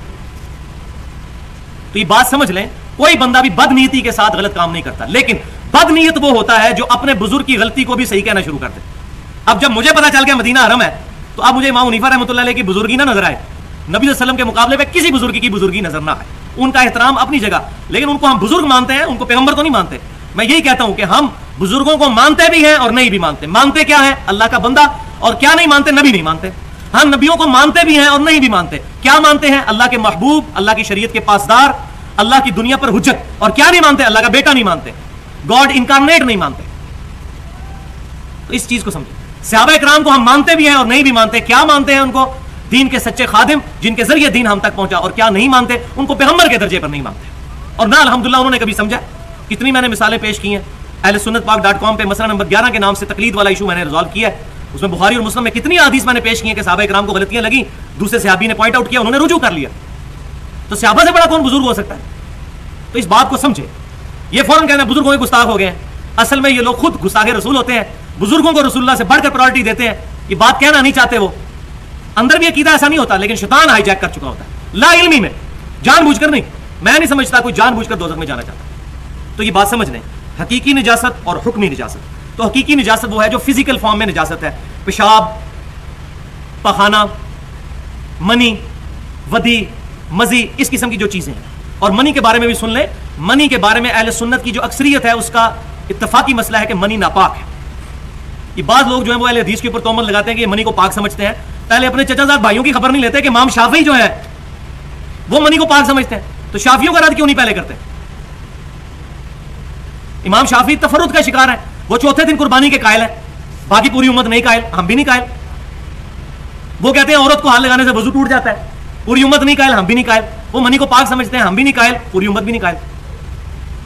तो अगर किसी को गलती लगी, ऐसा तरीके से बताना। बुखारी और मुस्लिम की मुतफ़ हदीस है अम्मायशा कहती हैं, नबी सल्लल्लाहु अलैहि वसल्लम जब भी कभी मुख्तलम होते थे, या आप सल्लल्लाहु अलैहि वसल्लम के जिसम कपड़ों पर मनी लगती थी, अपनी बीवियों की सोबत की वजह से तो मैं आप सल्लल्लाहु अलैहि वसल्लम के कपड़ों को धो दिया करती थी। और वो गीली हालत में आप वसल्लम पहनकर जाए तो धोते क्यों थे? पा करने के लिए। और बुखारी और मुस्लिम में है कि जब मनी खुश्क हो जाए तो इसको पाक करने का तरीका यह है कि इसको खुरच दिया जाए। तो अगर वो पाक होती तो खुरचना क्यों ज़रूरी होता? लगी रहती। कई बार जैसे आदीज में आता है बुहारी और मुस्लिम में कि किसी को नमाज़ की हालत में बलगम या थूक आए तो वो अपनी बाई तरफ़ करके पाँव के नीचे मसल ले, या अपने ये दामन में मसल ले कपड़ों पर। तो उसमें कोई हर तो नहीं था, लगी रहती मनी। और खुश हो चुकी, वैसे किसको नज़र आनी है? तहमद पे जलवार पे लगी हुई। क्यों खुर्च नहीं पड़ती थी? पाक करने के लिए। तो अल्हम्दुलिल्लाह, अहले हदीस मतलब फ़िक्र में भी जो मुहक्किक उलमा है, वो मनी को नापाक उन्होंने लिखा है। जितने मोहकिन आप नमाज़ की किताबें उठा के देखें, मनी को नापाक ही लिखा हुआ चंद एक लोग अगर करते हैं तो उसकी वजह से फिर अगर क्लास लेनी है, फिर एक उसूल हो। फिर इमाम शाफी पे भी फतवा लगाया जाए। वो कभी वो मैसेज आ रहा था जी, आप मनी की कुल्फियाँ बना के खाएँ। इस किस्म की बेहदा बात। तो इमाम शाफी को ये मशवरा देना। इमाम शाफी को क्यों नहीं कहते? इमाम शाफी रहमत भी इजतहादी गलती का शिकार हुए, बस ज़्यादा से ज़्यादा। तो ऐसे तरीके से मुसलमान की गलती का एहतराम करना चाहिए। तो ये होगी फ़िज़िकल फॉर्म में जो निजात है। और दूसरी है हुक्मी निजात हुक्मी निजात वो है जो इंटेलेक्चुअल फॉर्म में है। फिजिकली नहीं है स्पिरिचुअल है या रूहानी तौर पर है। वो निजात मिसाल के तौर पर, इंसान पर जब वज़ू फ़र्ज़ हो जाता है हवा निकलने से या पेशाब करने से तो नपाक तो नहीं हो जाता, लेकिन नमाज़ के प्रोटोकॉल के एतबार से वो नापाक है। फिजिकली वो नापाक नहीं है। इवन जिसपे गुसल फ़र्ज़ हो, वो भी पाक है। शरीयत के, इबादत के प्रोटोकॉल के एतबार से वो नापाक। वो आगे मैं हदीस भी बताता हूँ। वो हुक्म निजात है कि अल्लाह का हुक्म है। फिजिकली कोई निजाजत नहीं, कोई नापाकी नहीं। ये अल्लाह का हुक्म है, ये रूहानी निजाजत है। फ़िज़िकल नहीं। वरना जिसपे गुसल फ़र्ज़ हुआ है, वो अपने जिसम से मनी दूर कर ले, पूरा नहाने की ज़रूरत तो नहीं, उसको पाक हो जाएगा। पाक तो हो जाएगा वो, उतना करने से। लेकिन हुक्मी एतबार से गुसल उसी वक्त तक उस वक्त तक नहीं उतरेगा, इबादत के एतबार से, जब तक कि उसके मुताबिक नहीं होगा जो नबी वसल्लम ने तालीम फरमाया तो ये हुक्मी निजात को भी आप समझ लें। अब इस कॉन्टेक्स्ट में मैं आपको अदीस बताता हूँ, जिससे आपको ये बात खुलकर सामने आ जाएगी कि ये बेवजू होना, या बेगुसल होना, या औरत का हायजा हो जाना, ये हुक्मी निजाजते हैं। हकीकत में ये नापाक नहीं होता। मुझे अक्सर फ़ोन आ रहे होते हैं कि जी वो औरत हैज़ में है, बच्चे को दूध पिला सकती है। वो नापाक नहीं हुई। अब ये वो अदीस सुन लें। जन्नत के आठ दरवाजों की नस्बत से आठ अदीस इसी में इंशाल्लाह हमारी आज गुफ्तु मुकम्मल हो जाएगी। दस मिनट बाकी है। पहली हदीस सही बुखारी और मुस्लिम की मुतफ़ हदीस है कि सईदना अबू हुरैरा रज़ी अल्लाह कहते हैं कि मुझ पर एक दफ़ा गुसल फ़र्ज़ हो गया। नबी सल्लल्लाहु वहाँ से गुजर रहे थे। आप सल्लल्लाहु ने मेरा हाथ पकड़ा और मुझे साथ ले गए और गपशप करनी शुरू कर दी। एक जगह जाके हम बैठ गए तो आप गुफ्तु फरमाने लगे। आप किसी दूसरी तरफ़ मतवजे हुए, मैं चुप करके वहाँ से उठा और जाकर गुसल करके फिर हजूर के पास वापस आया। तो आप सल्लल्लाहु अलैहि वसल्लम ने फरमाया, अबू कहाँ चले गए थे? तो उनका यार वसल्लम, मुझे एहतलाम हुआ था नाइट फॉल हुआ था गुसल फ़र्ज़ हो गया था। तो मैं अपना गुसल उतारने के लिए गया था, क्योंकि मैं नापाक था। तो आप सल्लल्लाहु अलैहि वसल्लम ने फरमाया, इन्नल मुमिना ला यनजसु बेशक मोमिन कभी भी नापाक नहीं होता। यह हदीस सबूत है। गुसल फ़र्ज़ होने के बावजूद हजूर ने फरमाया, तुम नापाक नहीं हो। हाँ इबादत के एतबार से नापाक हो यह नहीं कि हाथ नहीं लगा सकते, वरना हजूर को खुद गुसल करना पड़ जाता है, कोई नापाक चीज़ को हाथ लगाया, ऐसी बात नहीं दूसरी हदीस सही मुस्लिम में। सईद आयशा कहती है कि नबी सल्लल्लाहु अलैहि वसल्लम इतकाफ में बैठे हुए थे। आप सल्लल्लाहु अलैहि वसल्लम ने मस्जिद नबी का जो बाई तरफ़ का दरवाज़ा, जो आज भी रोजा शरीफ वाला दरवाज़ा है, वो मस्जिद नबी शरीफ में आपके बिला रुख हो तो लेफ़्ट साइड पे जो दरवाज़ा है वो आप के हजरा शरीफ का दरवाज़ा। अब तो मस्जिद नबी में आ गया पहले नहीं था। तो वहाँ से आप सल्लल्लाहु अलैहि वसल्लम ने अपना बोरिया इतकाफ की हालत में सईद आयशा को पकड़ाया। तो सईद आयशा ने अर्ज़ किया, अल्लाह के रसूल सल्लल्लाहु अलैहि वसल्लम, मैं तो हाइजा हूँ। तो आपने फरमाया, हैज़ तेरे हाथों में तो नहीं घुस गया। पकड़ इसको। तो हाइजा औरत भी पाक है। देखें कैसा ज़बरदस्त कॉन्सेप्ट है। सही बुखारी और सही मुस्लिम की मुतम हदीस है कि मैं हैज़ की हालत में थी और हजूर सल्लम को इस बात का पता था और हजूर वसल्लम मेरी गोद में सर रखकर कुरान पाक पढ़ा करते थे। तो कुरान पाक प्लीज़ जगह में पढ़ा जाता है और वो गोद में। तो मोमिन कभी नापाक नहीं होता। ये मैं बता रहा हूँ इंटेलेक्चुअल निजात है। हुक्म ही है, हकीकत में निजात नहीं है। नेचुरल प्रोसेस है। चौथी हदीस सही बुखारी और सही मुस्लिम की मुतफक हदीस है। सईद आयशा कहती है कि नबी सल्लल्लाहु अलैहि वसल्लम हैज़ की हालत में अपनी बीवियों से मुबाशरत भी करते थे और जब मुबाशरत करनी होती थी तो उनके नाव से लेकर घुटने के नीचे तक मज़बूत आजार बाँध लेते थे। यानी वो प्रैक्टिकली इंटरकोर्स नहीं होता था, बाकी जिसम के साथ मुबाशरत करते थे। इससे ये गलत कॉन्सेप्ट खत्म कर दिया कि औरतें नापाक होती हैं। उस हालत में भी अपनी बीवियों को अपने साथ लिटाया करते थे। और अल्लाह की रहमत अम्मा पर कि जिन्होंने ये बात बयान करके मुसलमान मर्दों और औरतों के लिए कितने वाज शरीय के आकाम खोल कर बयान कर दिए। ये नहीं है कि औरतों को अलग कर दो। पांचवी हदीस, सही बुखारी और सही मुस्लिम की हदीस है। सईद आयशा कहती हैं कि हज के दौरान मैं हायजा हो गई। तो नबी सल्लल्लाहु अलैहि वसल्लम ने फरमाया कि तवाफ़ काबा के अलावा जितने काम हाजी कर रहे हैं, वो तमाम काम तुम करो। ज़िक्र, अजकार करो, सही करो, बाकी सारे काम करो। तवाफ नहीं करना। ज़ाहिर उसके लिए मस्जिद की बाउंड्री में आना होता है और वो इबादत का प्रोटोकॉल गुसल है। तो हायजा के लिए फरमा दिया कि बाकी सारे काम कर लो, ये काम नहीं करना। छठी हदीस, सही बुखारी और मुस्लिम की मुतमल हदीस है कि नबी सल्लल्लाहु अलैहि वसल्लम ने फरमाया, जब ईदगाह की तरफ़ जाओ तो जो औरतें हैज़ से हों, उनको भी साथ ले जाओ। ताकि मुसलमानों की दुआओं और तकबीरात में वो शामिल हो। नमाज़ में वो अलग रहे। इससे भी पता चला कि नमाज़ का प्रोटोकॉल है गुसल बाकी असकार का नहीं। इवन खुद नबी वसल्लम के बारे में अगली हदीस, सातवीं हदीस, सही मुस्लिम में हदीस है। अम्मायशा कहती हैं कि नबी सल्लल्लाहु अलैहि वसल्लम हालत जनाबत में भी अल्लाह का ज़िक्र किया करते थे। ज़िक्र करने की ममानियत नहीं, एक चीज़ की ममानियत है, और वो सही हदीस आठवें नंबर पर तिरमजी और सुन नबी दाऊद में है कि सैदना अली रदी अल्लाह तु कहते हैं कि नबी सल्लल्लाहु अलैहि वसल्लम को कुरान पढ़ने से सवाए जुनूबी होना और कोई चीज़ नहीं माने आती थी। यानी जब आप पर गुसल फ़र्ज़ होता था, उस वक्त आप कुरान नहीं पढ़ा करते थे। उसके अलावा आप सल्लल्लाहु अलैहि वसल्लम कुरान पढ़ा करते थे। यानी बगैर वज़ू के भी कुरान पाक आप सल्लल्लाहु अलैहि वसल्लम पढ़ा करते थे।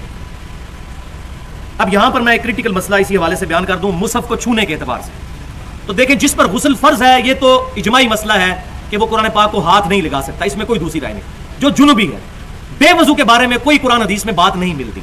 इसमें इख्तलाफ है। बाद लोगों ने कुरान की उस आयत से इस्तदलाल किया है, ला यमसुहुल्मुतहरून सूरतुल वाक़िया की। हालाँकि वो आउट ऑफ़ कॉन्टेक्स्ट है। उसमें तो आया गया है, ये बात बताई गई है कि फरिश्ते इस कुरान को वहाँ से उतारते हैं। अगली आयात पढ़े तो आपको बात बिल्कुल क्लियर हो जाएगी कि फरिश्ते इस कुरान को नाजिल करते हैं, लोहे महफूज से नीचे। उस कुरान को कोई नहीं छू सकता, मगर पाकिजा लोग, वो पाकिजा फरिश्ते हैं, ये जिन्नात का उतारा हुआ कुरान नहीं। अलबत्ता अगर उस पर कोई इजतहाद करते हुए मसला निकाल लेता है कि बगैर वज़ू के कुरान को हाथ नहीं लगाना चाहिए तो ठीक है, इजतहादी मसला है में इख्तलाफ की गुंजाइश होगी। कोई समझता लगा सकता है तो लगा ले। बाद हुक्म कोई नहीं मौजूद। बल इसमें मेरी राय जो है वो दरमियान की राय है। इजतहाद तो क्या मत तक ली जा रही है। मेरे नज़दीक यह है कि अगर कुरान को आपने तलावत के तौर पर एज ए इबादत पढ़ना है, फिर वज़ू ज़रूर करें। और अगर कुरान पाक को आपने तर्जमे से तफसीर के लिए, प्रोटोकॉल के तौर पर नहीं, बल्कि इसको समझने के लिए, फिर वज़ू शर्त नहीं है। ये वज़ू की पाबंदियों ने तो लोगों को कुरान से दूर किया एक बंदा बेचारा रात को उसका दिल कर ही आए तर्जमे से कुरान पढ़ने, उसको वज़ू के चक्रों में नहीं डालना चाहिए। कुरान पाक तो हमारी ये टेक्स्ट बुक है। रात को कई बार उठ के तो याद आता है, यार, वो कोई आयत जहन में रही कई दफ़ा मेरे साथ हुआ है। उसी वक्त मैं उठ के वज़ू करूँगा तो तरद में पढ़ूँगा, मैं कुरान पाक खोल के वो देख लेता हूँ। तो अगर इससे तालीम हासिल करनी है तो इसी पे आगे वो बात भी समझ लें कि अगर कोई हायजा औरत है, उसको अगर कुरान तालीम देना पड़ता है तो उस पर फिर हर्ज नहीं होगा, क्योंकि उस पर जो कैफियत तारी हुई है, वो उसके इख्तियार में नहीं है। जुन भी होती तो गुसल कर लेती। ये अल्लाह की तरफ़ से है कि उसको सात दिन तकरीबन वो नापाक रहना पड़ता है। अल्लाह की तरफ़ तो हायजा औरत का मामला डिफरेंट होगा। जुन भी कुरान को हाथ नहीं लगा सकेगा। ये इश्तहादी मसला है। मैंने यहाँ पर इसको एलिबोरेट कर दिया। अब आखिरी बात इस कॉन्टेक्स में आज की गुफ्तु में, इंशाल्लाह अगली गुफ्तु अगली दफ़ा होगी।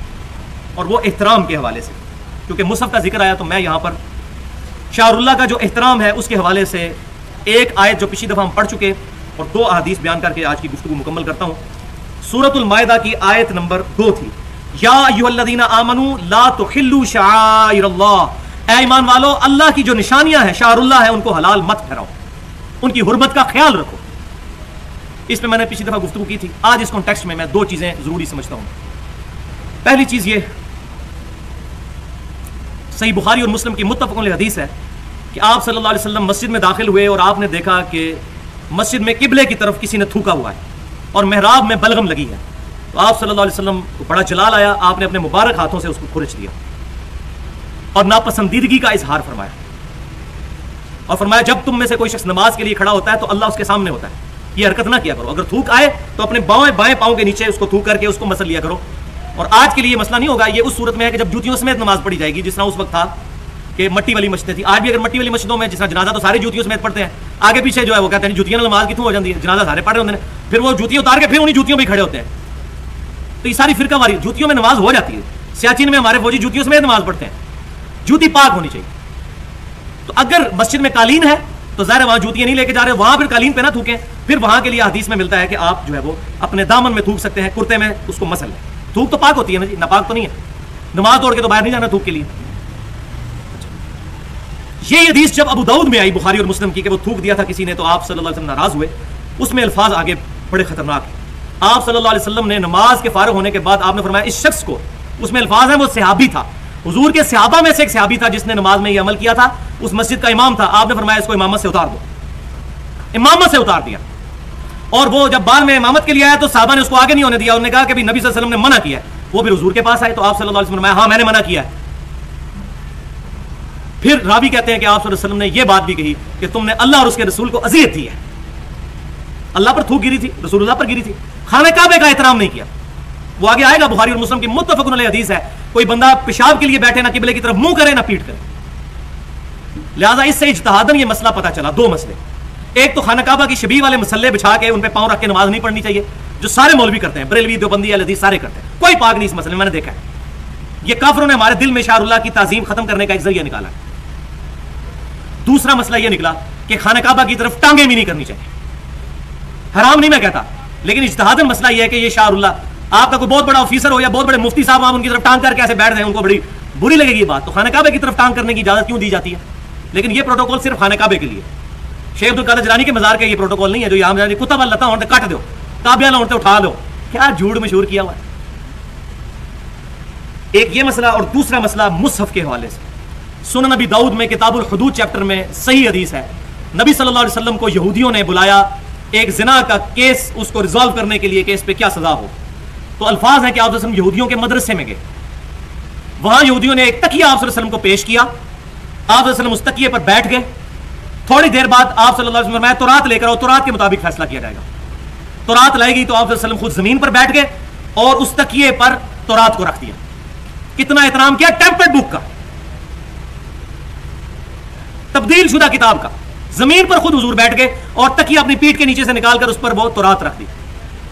इससे यह बात पता चली कि कुरान पाक को ज़मीन पर नहीं रखना चाहिए।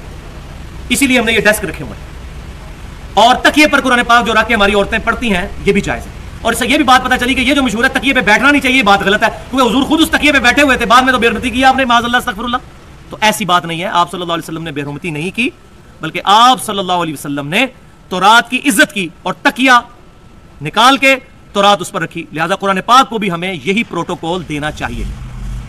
तो ये इस हवाले से मैं मुसहफ की जो अहमियत है, वो वाजे करना चाहता था, ताकि हमें बात बिल्कुल वाजे समझ आ जाए कि मुसहफ की क्या अहमियत है।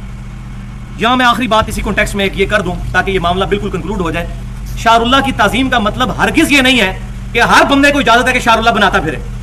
शाहरुल्लाह वही होंगे जो अल्लाह उसके रसूल ने डिक्लेयर किए बुखारी और मुस्लिम की मुतफक हदीस है कि मेरे घर से लेकर मेरे मिंबर तक जन्नत के टुकड़ों में से एक टुकड़ा है रियाजुल जन्ना। ये उसी टुकड़े के लिए। पाकिस्तान में जो बहिश्ती दरवाज़ा है, पाक पतन वाला, इसके लिए ना बुखारी में हदीस है, ना मुस्लिम में हदीस है। लिहाजा इसको हम शाहरुल्लाह नहीं मानते, वरना मैं अपने घर के दरवाजे को भी शाहरुल्लाह डिक्लेयर कर दूँगा। आपको किसने अथॉरिटी दी अपनी मर्ज़ी से शाहरुल्लाह बनाते फिर?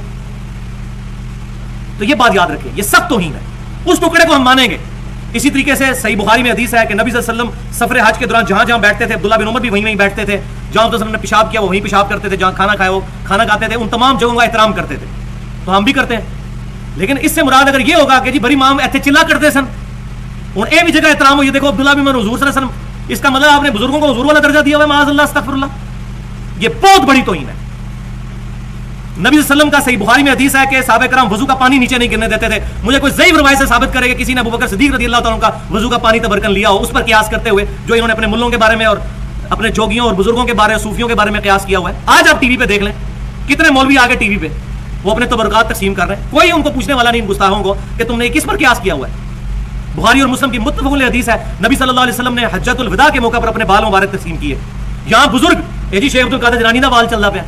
ये फलाने बुज़ुर्ग का बाल है। ओ भाई साहबा के बाल नहीं चले तबरकन आगे। तुमने बुज़ुर्गों के बाल चला दिए। तो ये मैंने इंसाफ किया, ये पेंडुलम की दोनों एक्सट्रीम मैंने बता दी। एक शाहरुल्लाह का एहतराम, उसमें गलूब भी नहीं होना चाहिए। जो आया, वही आया।